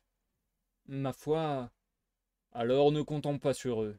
Je vais prévenir par dépêche deux gaillards de mes amis qui nous auront plus de sécurité. Et maintenant filez, qu'on ne nous voit pas ensemble. À demain, vers les neuf heures. Le lendemain, date fixée par Arsène Lupin, le baron Cahorn décrocha sa panoplie, fourbit ses armes et se promena aux alentours du Malaquis. Rien d'équivoque ne le frappa. Le soir, à huit heures et demie, il congédia ses domestiques. Ils habitaient une aile en façade sur la route, mais un peu en retrait et tout au bout du château. Une fois seul, il ouvrit doucement les quatre portes. Après un moment, il entendit des pas qui s'approchaient. Ganimard présenta ses deux auxiliaires, grands gars solides, au cou de taureau et aux mains puissantes, puis demanda certaines explications. S'étant rendu compte de la disposition des lieux, il ferma soigneusement et barricada toutes les issues par où l'on pouvait pénétrer dans les salles menacées. Il inspecta les murs, souleva les tapisseries, puis enfin il installa ses agents dans la galerie centrale. Pas de bêtises, hein On n'est pas ici pour dormir. À la moindre alerte, ouvrez les fenêtres de la cour et appelez-moi. Attention aussi du côté de l'eau. Dix mètres de falaise droite, des diables de leur calibre, ça ne les effraie pas. Il les enferma, emporta les clés et dit au baron Et maintenant, à notre poste. Il avait choisi, pour y passer la nuit, une petite pièce pratiquée dans l'épaisseur des murailles d'enceinte entre les deux portes principales et qui était jadis le réduit du veilleur. Un Judas s'ouvrait sur le pont, un autre sur la cour. Dans un coin, on apercevait comme l'orifice d'un puits. Vous m'avez bien dit, monsieur le baron, que ce puits était l'unique entrée des souterrains et que, de mémoire d'homme, elle est bouchée. Oui. Donc, à moins qu'il n'existe une autre issue ignorée de tous, sauf d'Arsène Lupin, ce qui semble un peu problématique, nous sommes tranquilles.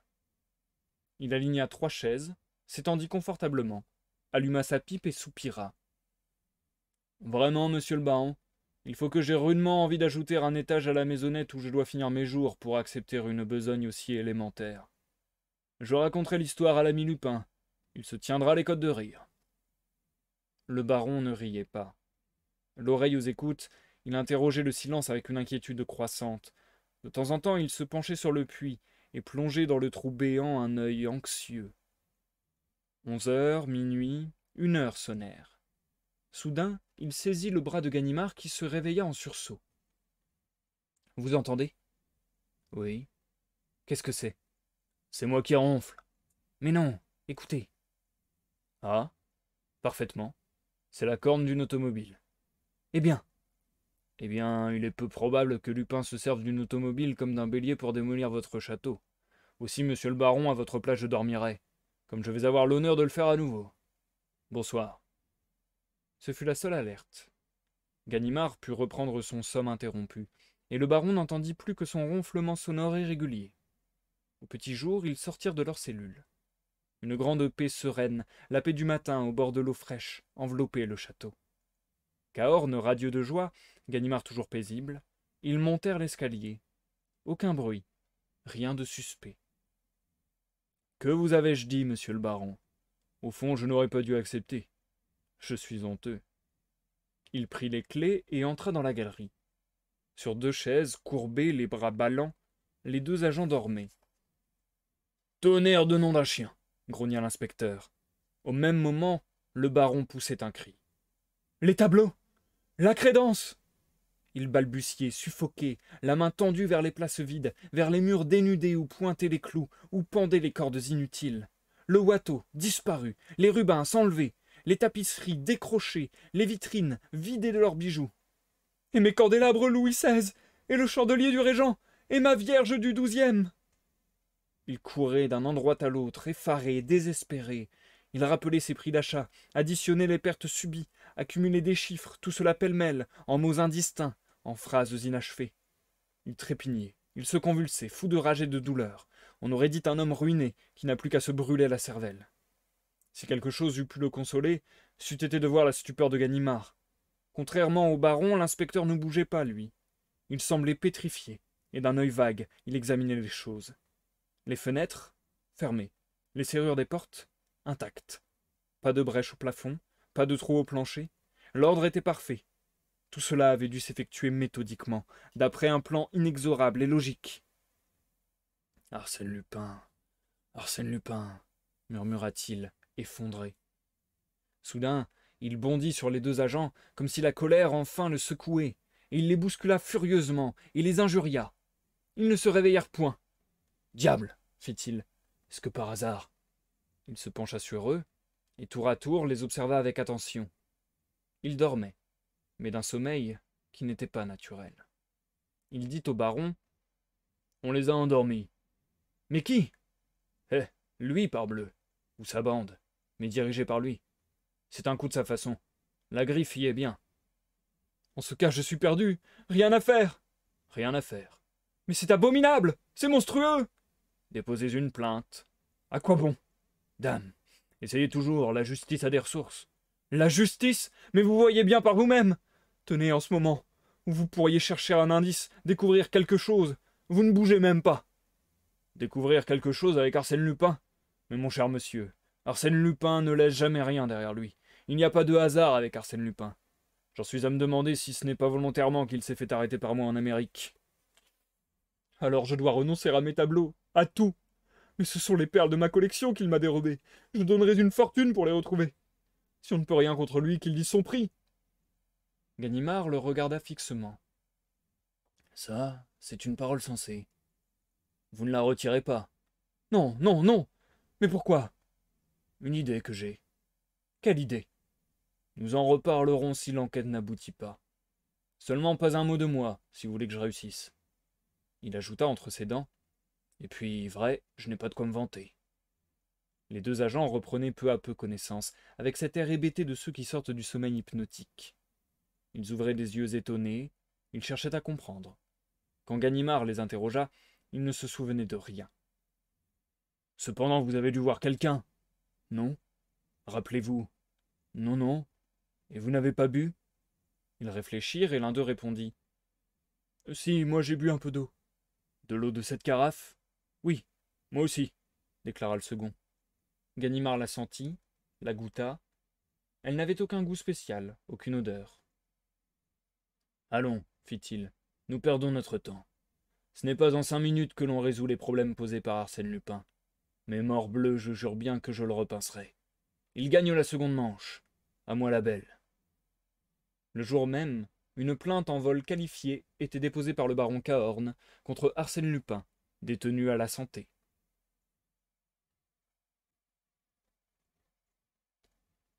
Et je vais m'arrêter là pour l'instant, puisqu'on va reprendre la suite et fin de cette nouvelle dans quelques minutes. Nous passons à la dernière pause de ce soir.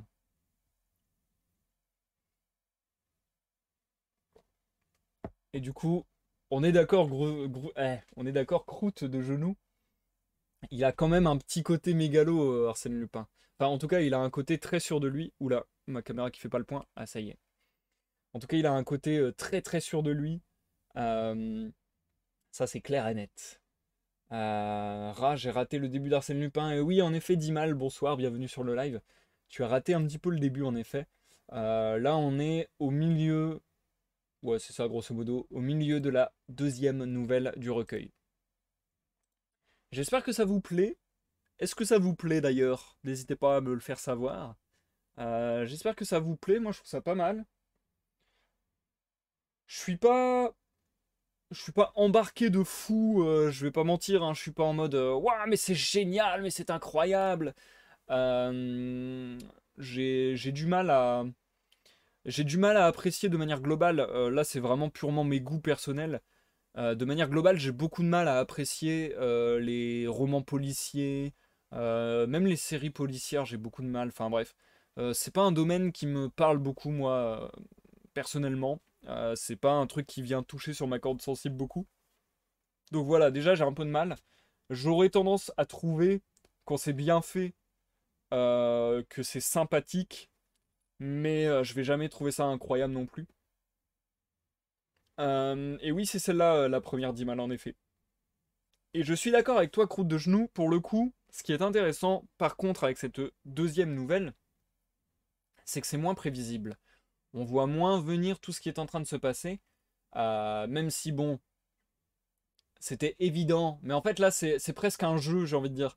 C'est presque une lecture un peu ludique. Parce qu'il y a un jeu comme ça, c'est un truc qui arrive très souvent, je trouve, dans le, dans le domaine policier.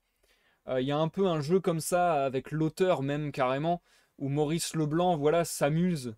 s'amuse à, à poser des choses dont on sait très bien qu'elles vont se faire déjouer et ainsi de suite. Enfin, en fait, voilà, ça, ça crée des situations, ça crée des personnages, euh, et c'est euh, voilà, des, des réactions attendues. Donc euh, quelque part, on est dans la confidence et le lecteur et l'auteur partagent comme ça une espèce de connivence à se moquer des, personnages et de ce qui leur arrive quoi. Là, c'était grillé à 200 000 mètres que bien qu'il soit en prison, c'était sûr, sûr, sûr qu'il allait réussir quand même à faire un vol et que euh, et que euh, et que bah le euh, Ganimard se, retrouverait mouché et que le baron se retrouverait complètement désespéré. ça, on s'en doute. Après, ce qui est intéressant, c'est voilà le jeu qui est fait à partir de ça. Et là, moi, ce qui va m'intéresser surtout, c'est plutôt le, dénouement, le déchiffrage de, de comment ça s'est passé, de comment ce coup a été réussi. Moi, c'est ça qui m'intéresse maintenant. Euh, Croûte de genou nous dit le problème des policiers, à mon avis, c'est que souvent tu sens que le chemin est fait à l'envers, comme quand tu es petit et que tu pars de la sortie quand tu veux résoudre un labyrinthe. Ah, c'est marrant comme comparaison. je vois un peu ce que tu veux dire, ouais, je, je perçois un peu ça aussi, j'avoue. Bah en fait, ouais, c'est assez logique. Hein. C'est assez logique. Je pense que beaucoup, beaucoup, beaucoup d'auteurs commencent en écrivant leur fin, ou en tout cas en écrivant des moments importants de leur, euh, de leur récit.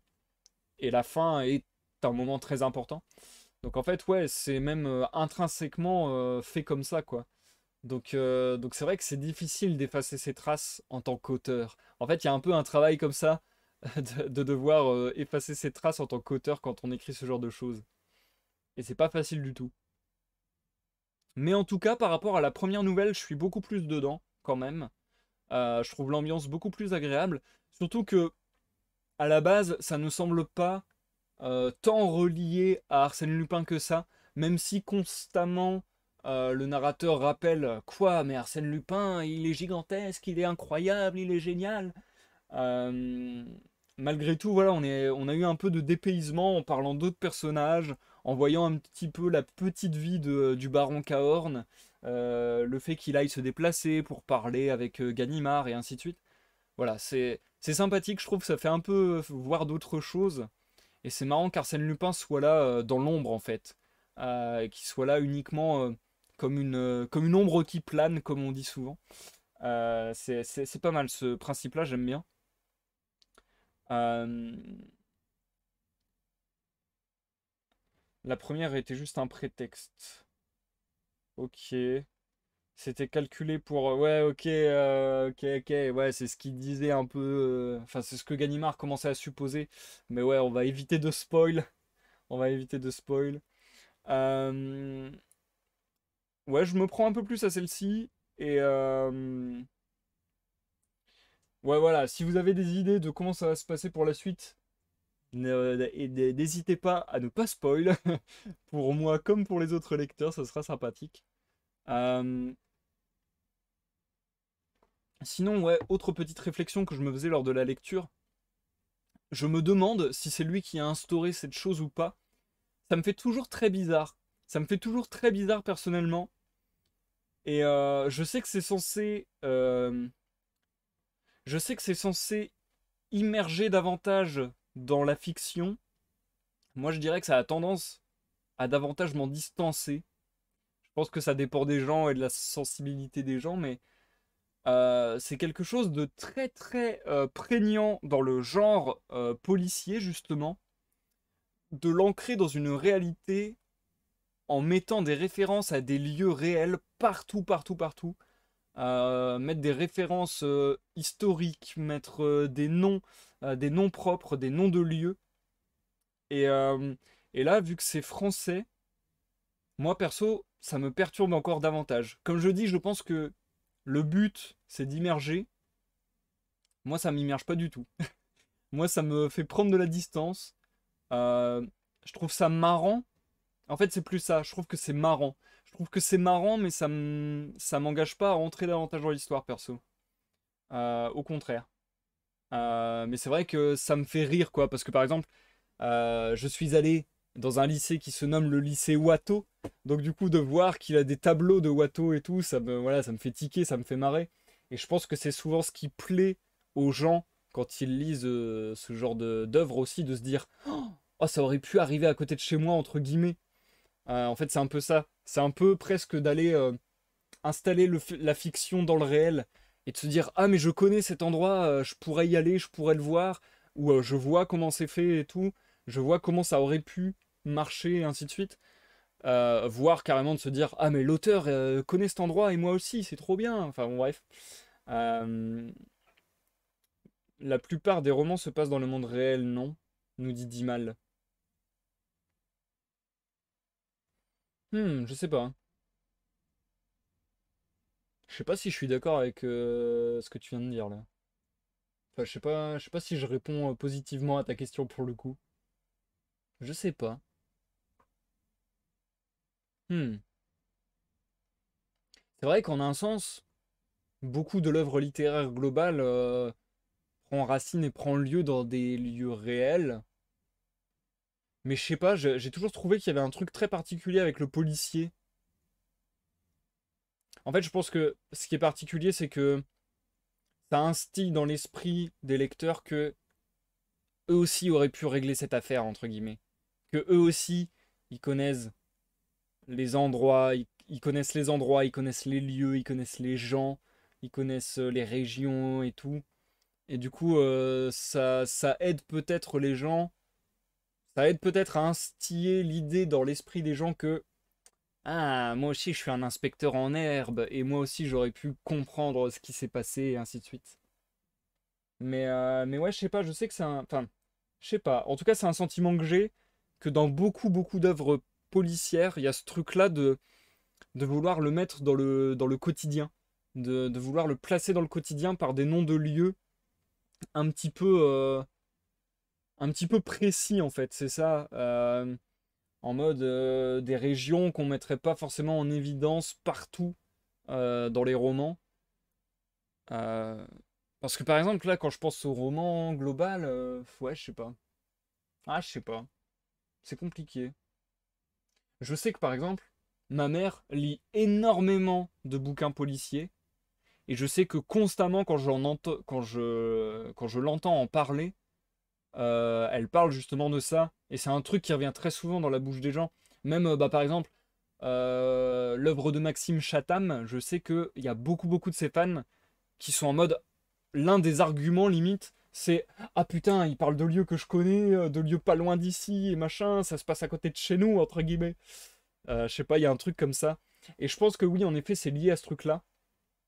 Euh, c'est que le but, c'est de faire un peu fait divers, en effet, croûte de genou. Je pense que le but, c'est de faire un peu fait divers. Ce qui fait que, ouais, ça, instaure une espèce de proximité comme ça avec le lecteur où tu te dis, putain, c'est pas loin, ça aurait pu ça aurait pu exister, euh, ça aurait pu, euh, j'aurais pu vivre le truc, j'aurais pu euh, résoudre l'affaire et ainsi de suite. J'aurais pu croiser Arsène Lupin, entre guillemets. ceci dit, encore une fois, moi je sais pas, c'est pas tellement un truc qui me fait rentrer dans l'histoire, c'est plutôt un truc qui m'en distancie. C'est plus un truc où, en fait, je sais pas, justement, je le vois, je sais pas comment expliquer. C'est presque justement comme si je le voyais comme un, comme un artefact, comme si je le voyais comme un instrument comme si je le voyais comme un. Comme un outil de. Euh, un outil de style presque. Comme si je voyais que c'était fait pour un petit peu draguer l'auditorat entre guillemets ou je sais pas encore une fois essayer de les amener dans une espèce de connivence comme ça sympathique etc et je sais pas j'aime pas qu'on me fasse ça moi je pense de quoi je sais pas je sais pas trop c'est peut-être qu'une impression, mais j'ai du mal à me. à me. à dire précisément ce que je pense sur ce sujet.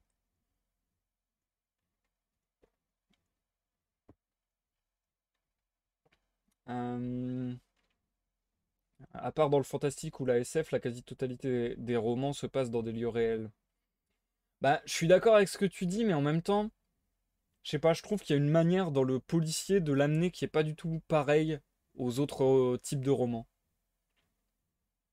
Euh, ouais. Je pense que c'est pas amené. Enfin, je trouve que c'est pas amené comme dans les autres romans. Parce que j'ai jamais entendu personne vanter euh, Balzac en disant Oh, mais ça se passe à Paris, oh là là, je, connais les lieux et tout et tout. Alors que les trucs d'enquête, etc., c'est un, des arguments qui revient hyper souvent, quoi. Je trouve que c'est pas présenté de la même manière. C'est souvent euh, dans les romans de manière globale, c'est plus un truc euh, anodin, c'est plus un truc général. Alors que souvent, dans les trucs policiers, dans les romans policiers, dans les œuvres policières, c'est plus détaillé, c'est plus zoomé. Donc on est plus sur des lieux précis, voire voir des lieux où le lieu. Comment dire Voir des endroits où le lieu et les, et les lieux spécifiques, si je peux dire, euh, sont, des, sont des personnages à part entière presque. Sont, sont des éléments importants euh, de l'enquête, euh, etc. J'ai l'impression souvent. Dans Les Misérables, j'ai beaucoup eu cette impression de reconnaître les lieux où cela se passait. Ben, on n'a pas la même perception des choses, dit mal. Euh, peut-être que euh, tu n'as pas euh, mon avis, mais ouais, moi je, je sais pas, moi je perçois un truc comme ça un peu spécifique au genre policier.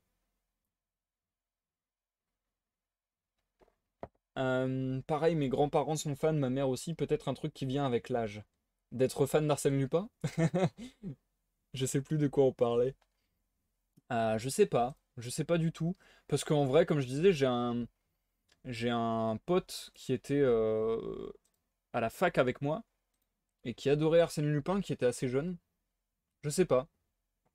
Je pense que pour le coup, Arsène Lupin, ça c'est un truc qui est pas mal aussi, je trouve. Je pense que c'est très accessible. Je pense que tu peux lire ça et découvrir ça en étant ado, voire enfant, potentiellement, et, euh, trouver ça très cool. Je pense que c'est assez accessible. Enfin bref. Cette euh, seconde pause a duré fort longtemps. J'en suis désolé. Après, c'est sympa de parler entre nous. Mais euh, ouais, du coup, ça fait durer la vidéo longtemps pour la rediff YouTube.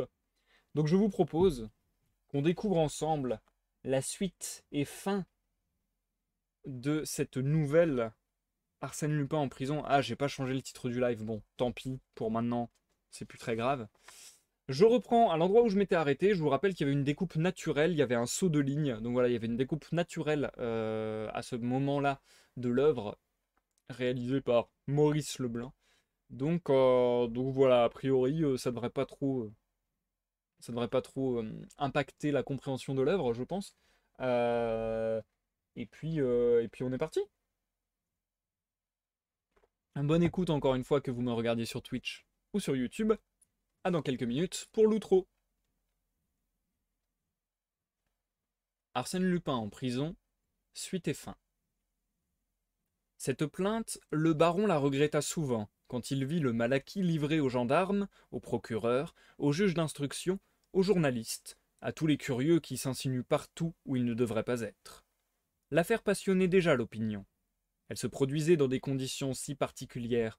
Le nom d'Arsène Lupin excitait à tel point les imaginations que les histoires les plus fantaisistes remplissaient les colonnes des journaux et trouvaient créance auprès du public. Mais la lettre initiale d'Arsène Lupin, que publia l'Écho de France, et nul ne sut jamais qui en avait communiqué le texte, cette lettre où le baron Cahorn était effrontément prévenu de ce qui le menaçait, causa une émotion considérable. Aussitôt des explications fabuleuses furent proposées, on rappela l'existence des fameux souterrains, et le parquet, influencé, poussa ses recherches dans ce sens. On fouilla le château du haut en bas, on questionna chacune des pierres, on étudia les boiseries et les cheminées, les cadres des glaces et les poutres des plafonds. À la lueur des torches, on examina les caves immenses où les seigneurs du Malaki entassaient jadis leurs munitions et leurs provisions. On sonda les entrailles du rocher. Ce fut vainement. On ne découvrit pas le moindre vestige de souterrain. Il n'existait point de passage secret. Soit, répondait-on de tous côtés, mais des meubles et des tableaux ne s'évanouissent pas comme des fantômes. Cela s'en va par des portes et par des fenêtres, et les gens qui s'en emparent s'introduisent et s'en vont également par des portes et des fenêtres. Quels sont ces gens? Comment se sont-ils introduits? Et comment s'en sont-ils allés? Le parquet de Rouen, convaincu de son impuissance, sollicita le secours d'agents parisiens. Monsieur Dudouis, le chef de la sûreté, envoya ses meilleurs limiers de la brigade de fer. Lui-même fit un séjour de quarante-huit heures au Malaquis. Il ne réussit pas davantage. C'est alors qu'il manda l'inspecteur Ganimard, dont il avait eu si souvent l'occasion d'apprécier les services. Ganimard écouta silencieusement les instructions de son supérieur, puis, hochant la tête, il prononça Je crois que l'on fait fausse route en s'obstinant à fouiller le château. La solution est ailleurs. Et où donc? Auprès d'Arsène Lupin. Auprès d'Arsène Lupin. Supposer cela, c'est admettre son intervention.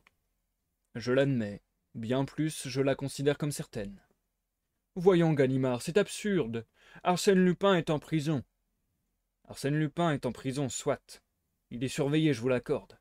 Mais il aurait les fers aux pieds, les cordes aux poignets et un bâillon sur la bouche, que je ne changerais pas d'avis. Et pourquoi cette obstination? Parce que seul, Arsène Lupin est de taille à combiner une machine de cette envergure, et à la combiner de telle façon qu'elle réussisse, comme elle a réussi. Des mots, Ganimard, qui sont des réalités. Mais voilà, qu'on ne cherche pas de souterrain. De pierres tournant sur un pivot, et autres balivernes de ce calibre. Notre individu n'emploie pas des procédés aussi vieux jeux. Il est d'aujourd'hui, ou plutôt de demain. Et vous concluez Je conclus en vous demandant nettement l'autorisation de passer une heure avec lui. Dans sa cellule. Oui, au retour d'Amérique, nous avons entretenu, pendant la traversée, d'excellents rapports, et j'ose dire qu'il a quelques sympathies pour celui qui a su l'arrêter. S'il peut me renseigner sans se compromettre, il n'hésitera pas à m'éviter un voyage inutile. Il était un peu plus de midi lorsque Ganimard fut introduit dans la cellule d'Arsène Lupin. Celui-ci, étendu sur son lit, leva la tête et poussa un cri de joie. Ah Ça, c'est une vraie surprise. Ce cher Ganimard ici Lui-même.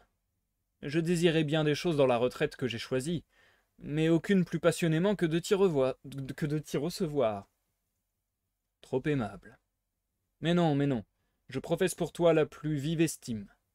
J'en suis fier. Je l'ai toujours prétendu. Ganimard est notre meilleur détective. Il vaut presque, tu vois que je suis franc, il vaut presque Sherlock Holmes.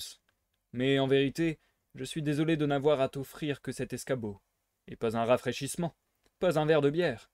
Excuse-moi, je suis là de passage. Ganimard s'assit en souriant, et le prisonnier reprit, heureux de parler. Mon Dieu, que je suis content de reposer mes yeux sur la figure d'un honnête homme. J'en ai assez de toutes ces faces d'espions et de mouchards qui passent dix fois par jour la revue de mes poches et de ma modeste cellule, pour s'assurer que je ne prépare pas une évasion. Fichtre, ce que le gouvernement tient à moi. Il a raison. Mais non, je serais si heureux qu'on me laissât vivre dans mon petit coin, avec les rentes des autres. N'est-ce pas? Ce serait si simple. Mais je bavarde, je dis des bêtises, et tu es peut-être pressé. Allons au fait, Ganimard. Qu'est-ce qui me vaut l'honneur d'une visite? L'affaire Cahorn, déclara Ganimard sans détour. Halte là, une seconde. C'est que j'en ai tant d'affaires, que je trouve d'abord dans mon cerveau le dossier de l'affaire Cahorn.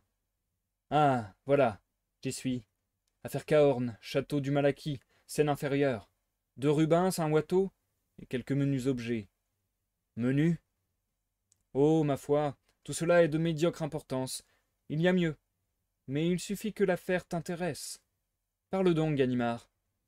Dois-je t'expliquer où nous en sommes de l'instruction? Inutile. J'ai lu les journaux de ce matin. Je me permettrai même de te dire que vous n'avancez pas vite. C'est précisément la raison pour laquelle je m'adresse à ton obligeance. Entièrement à tes ordres. Tout d'abord ceci. L'affaire a bien été conduite par toi, depuis A jusqu'à Z. La lettre d'avis, le télégramme, sont de ton serviteur. Je dois même en avoir quelque part les récépissés. Arsène ouvrit le tiroir d'une petite table en bois blanc qui composait, avec le lit et l'escabeau, tout le mobilier de la cellule, y prit deux chiffons de papier et l'étendit à Ganimard.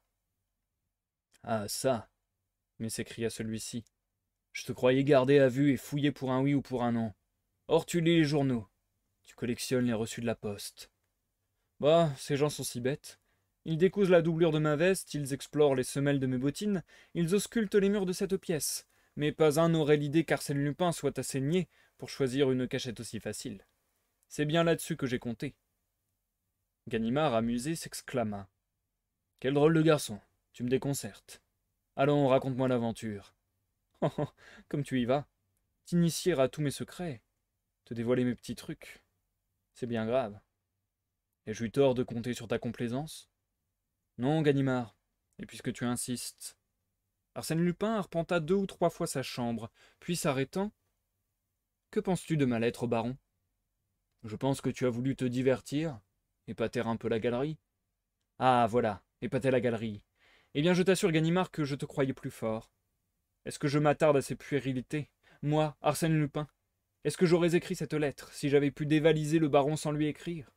Mais comprends donc, toi et les autres, que cette lettre est le point de départ indispensable, le ressort qui a mis toute la machine en branle.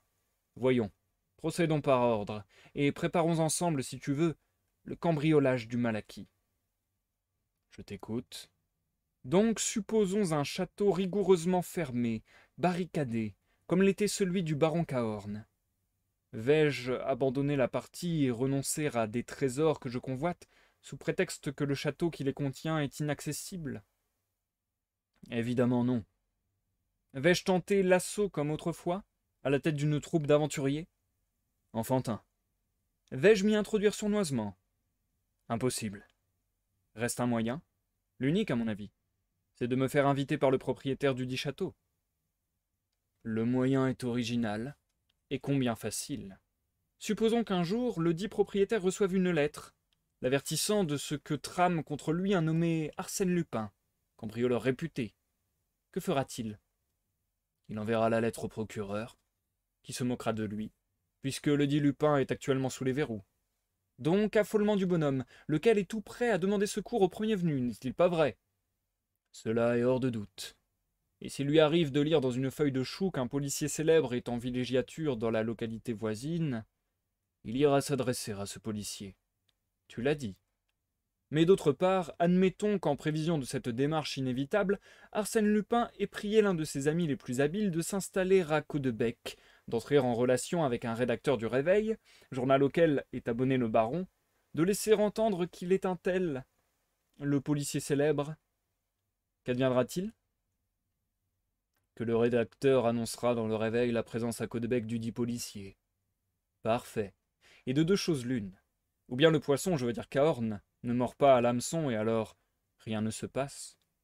Ou bien, et c'est l'hypothèse la plus vraisemblable, il accourt, tout frétillant. Et voilà donc mon Cahorn implorant contre moi l'assistance de l'un de mes amis. De plus en plus original. Bien entendu, le pseudo-policier refuse d'abord son concours. Là-dessus, dépêche d'Arsène Lupin. Épouvante du baron, qui supplie de nouveau mon ami et lui offre tant pour veiller à son salut. Le dit ami accepte, amène deux gaillards de notre bande qui, la nuit, pendant que Cahorn est gardé à vue par son protecteur, déménage par la fenêtre un certain nombre d'objets et les laisse glisser à l'aide de cordes dans une bonne petite chaloupe affrétée ad hoc. C'est simple comme Lupin. Et c'est tout bêtement merveilleux, s'écria Ganimard. Et je ne saurais trop louer la hardiesse de la conception et l'ingéniosité des détails. Mais je ne vois guère de policier assez illustre pour que son nom ait pu attirer, suggestionner le baron à ce point. Il y en a un, et il n'y en a qu'un. Lequel? Celui du plus illustre, de l'ennemi personnel d'Arsène Lupin, bref, de l'inspecteur Ganimard. Moi? Toi-même, Ganimard, et voilà ce qu'il y a de délicieux. Si tu vas là-bas et que le baron se décide à causer, tu finiras par découvrir que ton devoir est de t'arrêter toi-même, comme tu m'as arrêté en Amérique. Hein? La revanche est comique. Je fais arrêter Ganimard par Ganimard. Arsène Lupin riait de bon cœur. L'inspecteur, assez vexé, se mordait les lèvres. La plaisanterie ne lui semblait pas mériter de tels accès de joie. L'arrivée d'un gardien lui donna le loisir de se remettre. L'homme apportait le repas qu'Arsène Lupin, par faveur spéciale, faisait venir du restaurant voisin. Ayant déposé le plateau sur la table, il se retira. Arsène s'installa, rompit son pain, en mangea deux ou trois bouchées et reprit. Mais sois tranquille, mon cher Ganimard, tu n'iras pas là-bas. je vais te révéler une chose qui te stupéfiera. Stupéfiera. L'affaire Cahorn est sur le point d'être classée. Hein? Sur le point d'être classée, te dis-je. Allons donc. Je quitte à l'instant le chef de la sûreté. Et après? Est-ce que M. Dudouis en sait plus long que moi sur ce qui me concerne? Tu apprendras que Ganimard, excuse-moi, que le pseudo-Ganimard est resté en fort bons termes avec le baron. Celui-ci, et c'est la raison principale pour laquelle il n'a rien avoué, l'a chargé de la très délicate mission de négocier avec moi une transaction, et à l'heure présente, moyennant une certaine somme, il est probable que le baron est, entré, est rentré en possession de ses chers bibelots. En retour de quoi il retirera sa plainte. Donc, plus de vol. Donc, il faudra bien que le parquet abandonne. Ganimard considéra le détenu d'un air stupéfait. Et comment sais-tu tout cela? Je viens de recevoir la dépêche que j'attendais. Tu viens de recevoir une dépêche? À l'instant, cher ami. Par politesse, je n'ai pas voulu la lire en ta présence. Mais si tu m'y autorises. Tu te moques de moi, Lupin. Veuille, mon cher ami, décapiter doucement cet œuf à la coque. Tu constateras par toi-même que je ne me moque pas de toi. Machinalement, Ganimard obéit et cassa l'œuf avec la lame d'un couteau. Un cri de surprise lui échappa. La coque vide contenait une feuille de papier bleu. Sur la prière d'Arsène, il la déplia. C'était un télégramme, ou plutôt une partie de télégramme, auquel on avait arraché les indications de la poste. Il lut. Accord conclu, cent mille balles livrées, tout va bien. Cent mille balles? fit-il. Oui, cent mille francs. C'est peu, mais enfin, les temps sont durs. Et j'ai des frais généraux si lourds. Si tu connaissais mon budget. Un budget de grande ville. Ganimard se leva, sa mauvaise humeur s'était dissipée. Il réfléchit quelques secondes, embrassa d'un coup d'œil toute l'affaire pour tâcher d'en découvrir le point faible, puis il prononça d'un ton où il laissait franchement percer son admiration de connaisseur. Par bonheur, il n'en existe pas des douzaines comme toi, sans quoi il n'y aurait qu'à fermer boutique. Arsène Lupin prit un air modeste et répondit Bah, il fallait bien se distraire, occuper ses loisirs, d'autant que le coup ne pouvait réussir que si j'étais en prison. Comment? s'exclama Ganimard. Ton procès, ta défense, l'instruction. Tout cela ne te suffit donc pas pour te distraire? Non, car j'ai résolu de ne pas assister à mon procès. Oh oh Arsène Lupin répéta, répéta posément. Je n'assisterai pas à mon procès. En vérité. Ah ça, mon cher, t'imagines-tu que je vais pourrir sur la paille humide? Tu m'outrages. Arsène Lupin ne reste en prison que le temps qu'il lui plaît, et pas une minute de plus. Il eût peut-être été plus prudent de commencer par ne pas y entrer, objecta l'inspecteur d'un ton ironique. Ah. Monsieur Raille. Monsieur se souvient qu'il a eu l'honneur de procéder à mon arrestation. Sache, mon respectable ami, que personne, pas plus toi qu'un autre, n'eût pu mettre la main sur moi, si un intérêt beaucoup plus considérable ne m'avait sollicité à ce moment critique. Tu m'étonnes. Une femme me regardait, Ganimard, et je l'aimais. Comprends-tu tout ce qu'il y a dans ce fait d'être regardé par une femme que l'on aime? Le reste m'importait peu, je te jure, et c'est pourquoi je suis ici. Depuis bien longtemps, permets-moi de le remarquer. Je voulais oublier d'abord. Ne ris pas. L'aventure avait été charmante, et j'en ai gardé encore le souvenir attendri. Et puis, je suis quelque peu neurasthénique. La vie est si fiévreuse de nos jours. Il faut savoir à certains moments faire ce que l'on appelle une cure d'isolement. Cet endroit est souverain pour les régimes de ce genre. On y pratique la cure de la santé dans toute sa rigueur. Arsène Lupin, observa Ganimard. Tu te paies ma tête. Ganimard, affirma Lupin. Nous sommes aujourd'hui vendredi. Mercredi prochain, j'irai fumer mon cigare chez toi, rue Pergolaise, à quatre heures de l'après-midi. Arsène Lupin, je t'attends. Ils se serrèrent la main comme deux bons amis qui s'estiment à leur juste valeur et le vieux policier se dirigea vers la porte. Ganimard Celui-ci se retourna. Qu'y a-t-il Ganimard, tu oublies ta montre. Ma montre Oui, elle s'est égarée dans ma poche. Il la rendit en s'excusant. Pardonne-moi, une mauvaise habitude. Mais ce n'est pas une raison parce qu'ils m'ont pris la mienne pour que je te prive de la tienne.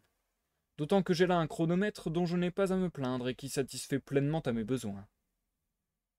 Il sortit du tiroir une large montre en or, épaisse et confortable, ornée d'une lourde chaîne. Et celle-ci, de quelle poche vient-elle? demanda Ganimard. Arsène Lupin examina négligemment les initiales. J.B. Qui diable cela peut-il bien être Ah, oui, je me souviens. Jules Bouvier, mon juge d'instruction. Un homme charmant.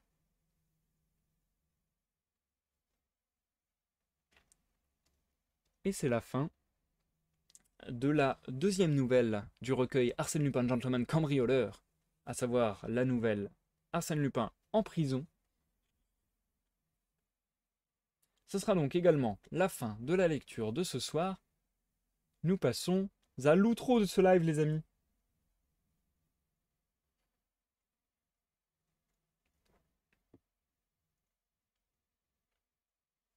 Et du coup, alors,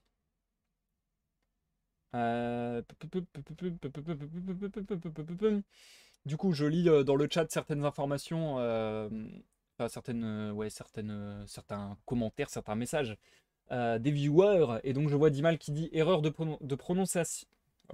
Erreur de prononciation dans Arsène Lupin, il s'appelle Sherlock Holmes et pas Sherlock Holmes. non, non, c'était écrit Sherlock Holmes. Il y aura Sherlock Holmes, Sherlock Holmes plus tard, mais du coup, c'est un peu du spoil. Euh, sachant d'ailleurs que euh, de ce que j'ai vu, à la base, Arsène, enfin Maurice Leblanc euh, voulait bien mettre Sherlock Holmes. c'est juste qu'il a eu des réclamations et des gens qui lui ont cassé les couilles et que du coup il s'est vu obligé de changer pour mettre Sherlock Holmes. mais à la base il voulait bien mettre Sherlock Holmes et là en l'occurrence à ce passage-là, quand je l'ai dit, c'était bien Sherlock Holmes. Et plus tard dans l'œuvre, ça sera Sherlock Holmes, en effet. Euh, c'était bien sympa, pas un truc marquant pour moi, euh, mais agréable. Alors, waouh, c'est si dur de comprendre le chat des fois, les amis. Genre là, euh, moi le vieux, désolé, mais je comprends pas. J'avais raison, il se fait passer pour l'inspecteur, je comprends pas. Bref, je comprends ce que tu veux dire par cette phrase. mais du coup, ouais, je suis assez d'accord avec toi, croûte de genou. Je vais dire que c'est une bonne découverte. Je pense que c'est intéressant. De toute façon, c'est un truc qui, revient souvent sur les lives de lecture que je peux faire, où je me dis, euh, bah voilà, c'est ça fait partie du, folklore, ça fait partie de l'imaginaire collectif, ça fait partie de la culture globale, on va dire. Donc je suis toujours heureux de, de découvrir. Je suis toujours heureux d'apprendre. Euh, mais, mais, mais, mais, euh, c'est pas non plus euh, ce qui va me marquer en effet. Euh, je parle juste de la lecture. Ouais, non, je voulais. Alors, on, se mélange les pinceaux. Je voulais parler de la phrase de moi le vieux que j'avais du mal à comprendre. T'inquiète, croûte de genoux. Mais euh, pour moi, à moins que tu dises que c'est de la lecture que tu parles et pas d'Arsène Lupin. Bref, en tout cas pour moi, Arsène Lupin, ça va pas me marquer, je pense. Euh, c'est sympa, mais je pense pas que ce soit euh, le type euh, d'ouvrage, le type de. En fait, c'est tout simplement pas mon genre de prédilection. Le genre policier, c'est vraiment pas mon genre de prédilection. Donc voilà, je pense que ça va être sympa et je pense que je vais bien aimer découvrir ce petit recueil, surtout que voilà, c'est le recueil qui a vu la création du personnage et donc c'est hyper intéressant de voir comment est né le mythe et ainsi de suite, de connaître un petit peu des choses là-dessus. Euh, ceci dit, je pense pas que je vais devenir fan et je pense pas que je vais commencer à me, dévorer toutes les nouvelles, tous les romans euh, et, et tutti quanti. Euh, je savais pas qu'il avait forcément cette. pas de soucis, croûte de genoux. C'est vrai que c'est pas évident, franchement, d'avoir une discussion très fluide en vrai avec le chat parce que il suffit qu'il y ait quelques personnes qui parlent et direct les messages se mélangent et vu qu'il y a un petit décalage, c'est ultra compliqué de savoir à quoi vous faites référence parfois. Euh, mais du coup, oui, je ne savais pas du tout que le personnage avait ce côté. Euh, bah, pourtant, le nom de gentleman peut peut-être, peut-être un petit peu laisser penser ça, mais euh, je ne savais pas du tout qu'il avait ce truc de, de séducteur en quelque sorte. je ne savais pas du tout qu'il était comme il le disait là, en mode euh, Oh, bah j'étais en pleine affaire, mais euh, mais il y avait une femme que j'aimais qui me regardait. Genre, je suis à quoi? Enfin, ouais, ça, ça m'étonne un peu ce côté-là d'Arsène Lupin, je, je savais pas que c'était comme ça. Euh, sinon, c'est très sympathique. Je trouve que justement, il y a un petit truc, encore une fois, à la Sherlock Holmes, hein, de toute manière, voilà. On s'en cache pas, c'est très lié. Euh, je sais pas, Maurice Leblanc, comment il considérait Arthur Conan Doyle et Sherlock Holmes? Je sais pas s'il considérait que c'était vraiment une euh, inspiration et que, euh, et que voilà, il. Presque, c'est presque. Je veux pas dire que c'était un hommage de faire Arsène Lupin, je veux pas aller jusque-là, mais, mais en tout cas, euh, ça a pu être peut-être pour lui une, une inspiration et il voulait peut-être se mettre un peu dans sa, dans sa lignée, entre guillemets. Il se voyait peut-être comme l'un de ses partenaires, de ses partners in crime. ou je sais pas si peut-être au contraire il trouvait que c'était pas hyper bien réussi et qu'il était peut-être en mode je vais me défier et faire mieux. Euh, je sais pas du tout quel était son positionnement, ce serait intéressant de le savoir en vrai.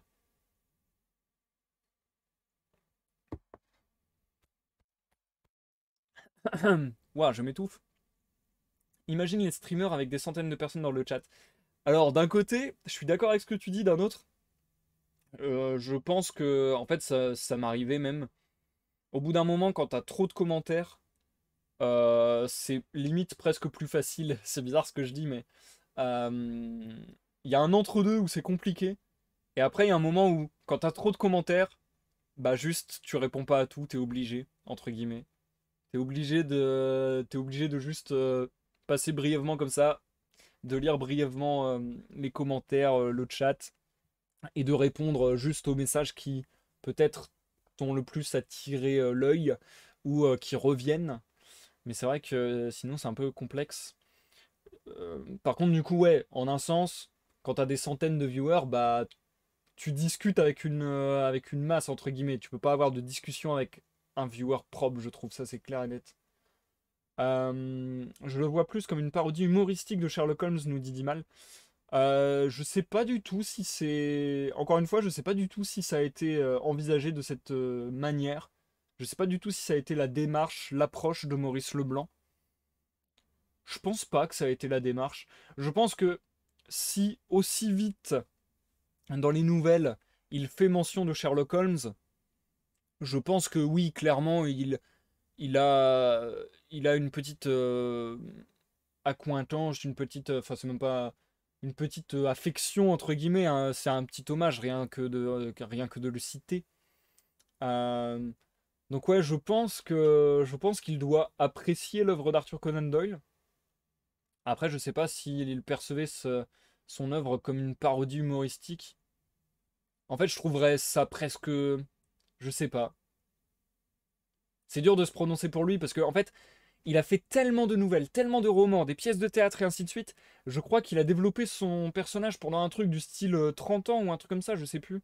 Euh, 30-35 ans, je sais plus, j'avais vu ça tout à l'heure. Et du coup, je me dis, euh, c'est peut-être chiant de faire. Euh, de partir du principe d'une parodie humoristique pour le tirer sur autant d'années et sur autant d'œuvres. Donc je sais pas si c'est tellement ce qu'il a voulu faire. D'ailleurs, il me semble qu'il se sentait un petit peu. Euh, alors, je dis, là j'affabule peut-être, hein, c'est vraiment des infos que j'ai vues comme ça, la débaucher et que je restitue à, l'à peu près. Mais il me semble que l'auteur se sentait un petit peu prisonnier du personnage d'ailleurs, et que sur, euh, sur euh, dernières euh, années de carrière, peut-être et ou de vie, bah en fait, il, il, vrillait un petit peu en mode bah je suis un peu obligé de faire du Arsène Lupin. Est-ce que je suis obligé? Est-ce que je peux pas faire autre chose? Enfin, je sais pas. Il me semble qu'il y avait un peu un délire comme ça où il s'est un peu laissé emprisonner par le personnage et où il pouvait plus faire que ça entre guillemets.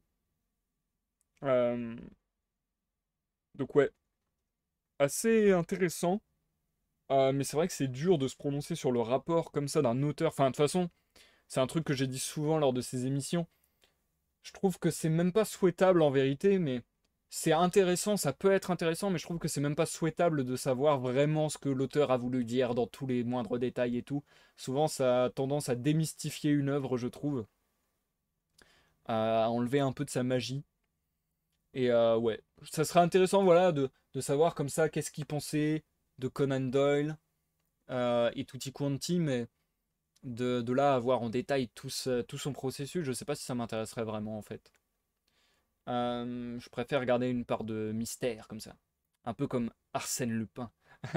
mais du coup, il y a la fameuse scène, j'ai envie de dire, de tous les policiers, euh, voilà, de tout le genre policier, la fameuse scène de révélation où d'un seul coup. euh, et là en plus c'est marrant parce que c'est du cambrioleur, donc c'est c'est de l'aveu du criminel même.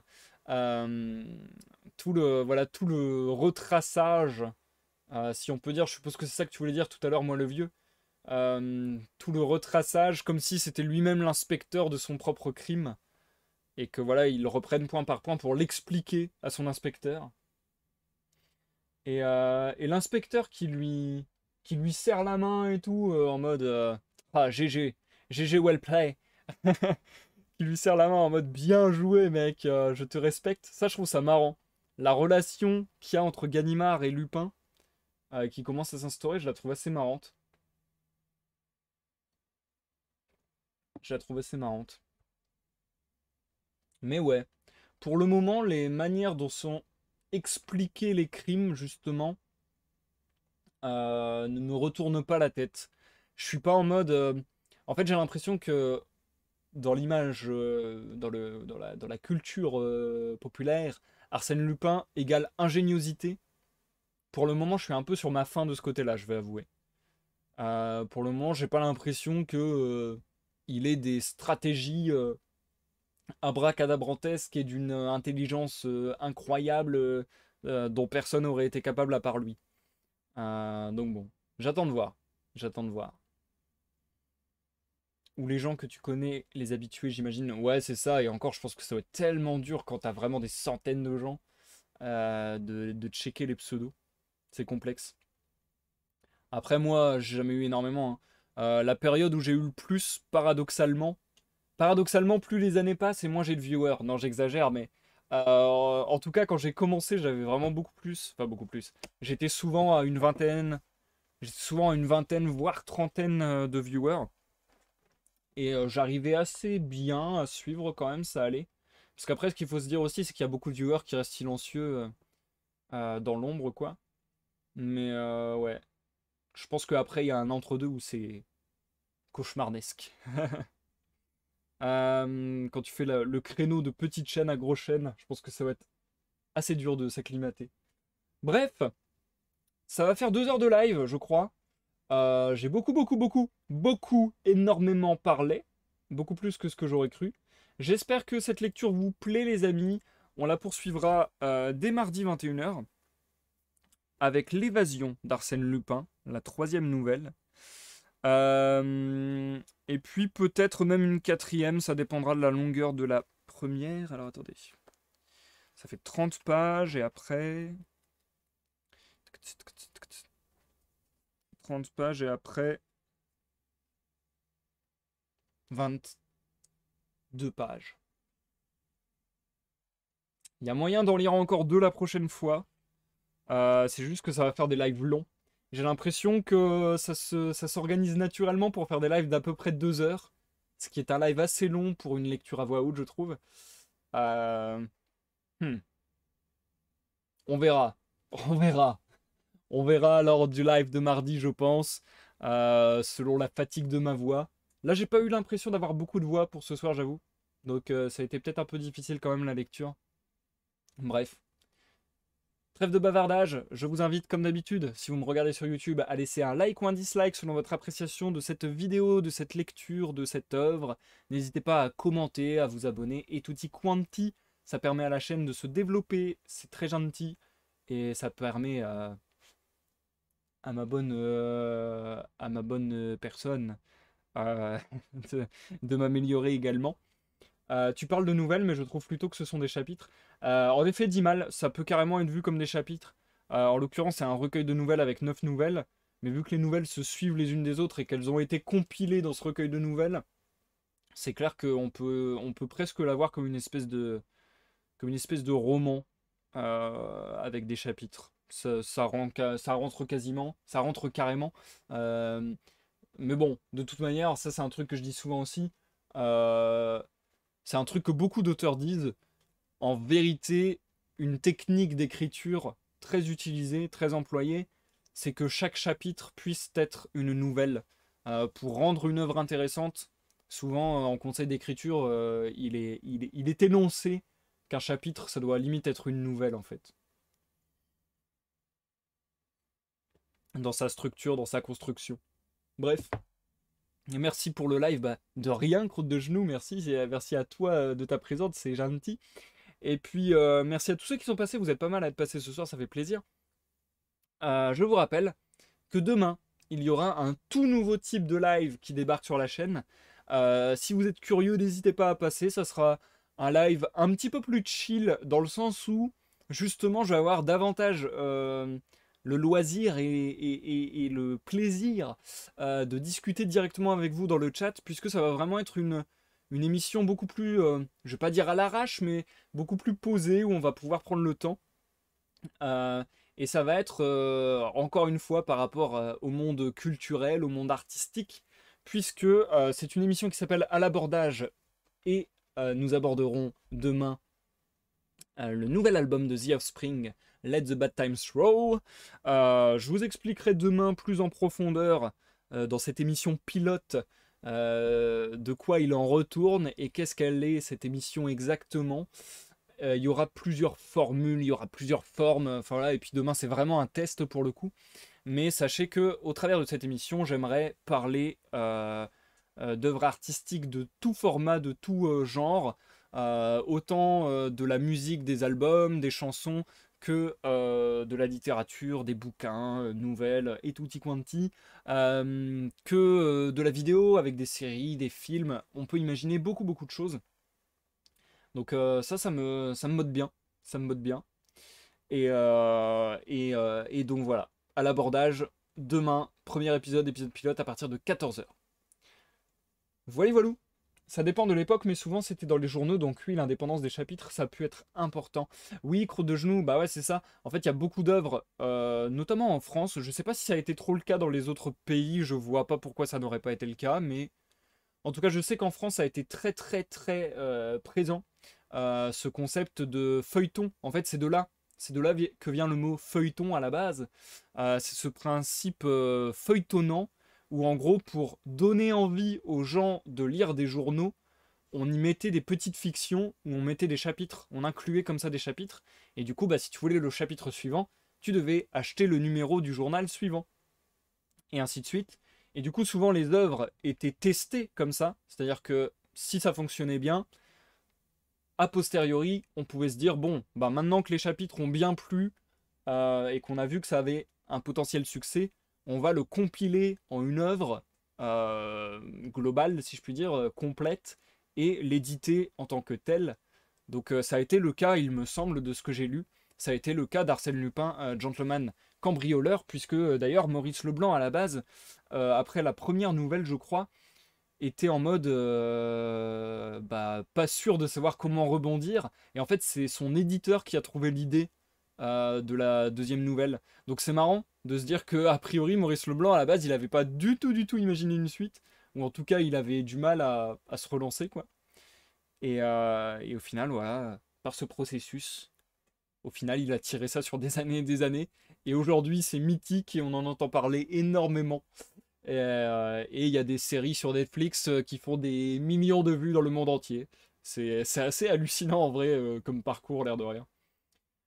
Bref, je ne vais pas te relancer plus. Bonne soirée. Il n'y a pas de souci, croûte de genoux. Ça fait plaisir de parler. Allez, sur ce, c'est vrai que l'épisode a duré quand même pas mal de temps. Euh, donc, je vais vous remercier une dernière fois. Vous donner rendez-vous pour ceux qui le désirent demain pour l'émission à l'abordage à 14h en live. Et sinon, euh, on peut aussi se retrouver dimanche sur mon Discord pour la veillée. Euh, si vous voulez qu'on discute, si vous voulez qu'on joue à des jeux de société, à des jeux vidéo ensemble. Ça sera de 21h à minuit minimum, même si je mets un petit veto. Euh, peut-être que je n'arriverai pas à 21h, peut-être que j'arriverai un peu plus tard dans la soirée. Mais bon, je vais essayer d'arriver quand même. Et puis, euh, et puis sinon, bah, pour les lives, je vous tiens au courant sur les réseaux lundi, comme d'habitude, je balance le programme sur Twitter, Facebook, Discord, partout. Hop, d'ailleurs, je balance les liens comme d'hab. Ah, je vais mettre aussi les liens des rediffusions sur YouTube. Et, euh, et puis, voilà, en vrai, vous avez tout. Le prochain live, a priori, après celui de demain, ça sera mardi, lecture. Arsène Lupin, Gentleman Cambrioleur, nouvelle numéro 3. Je me perds en palabres, en tergiversation, et je n'arrête pas de m'enfoncer, de m'enfoncer, je ne m'arrête jamais de parler, c'est terrible. Bref, On s'arrête là, bonne soirée, bonne nuit à tous. À la prochaine pour une prochaine lecture, une prochaine découverte ou une prochaine partie de gaming. Des bisous et bye bye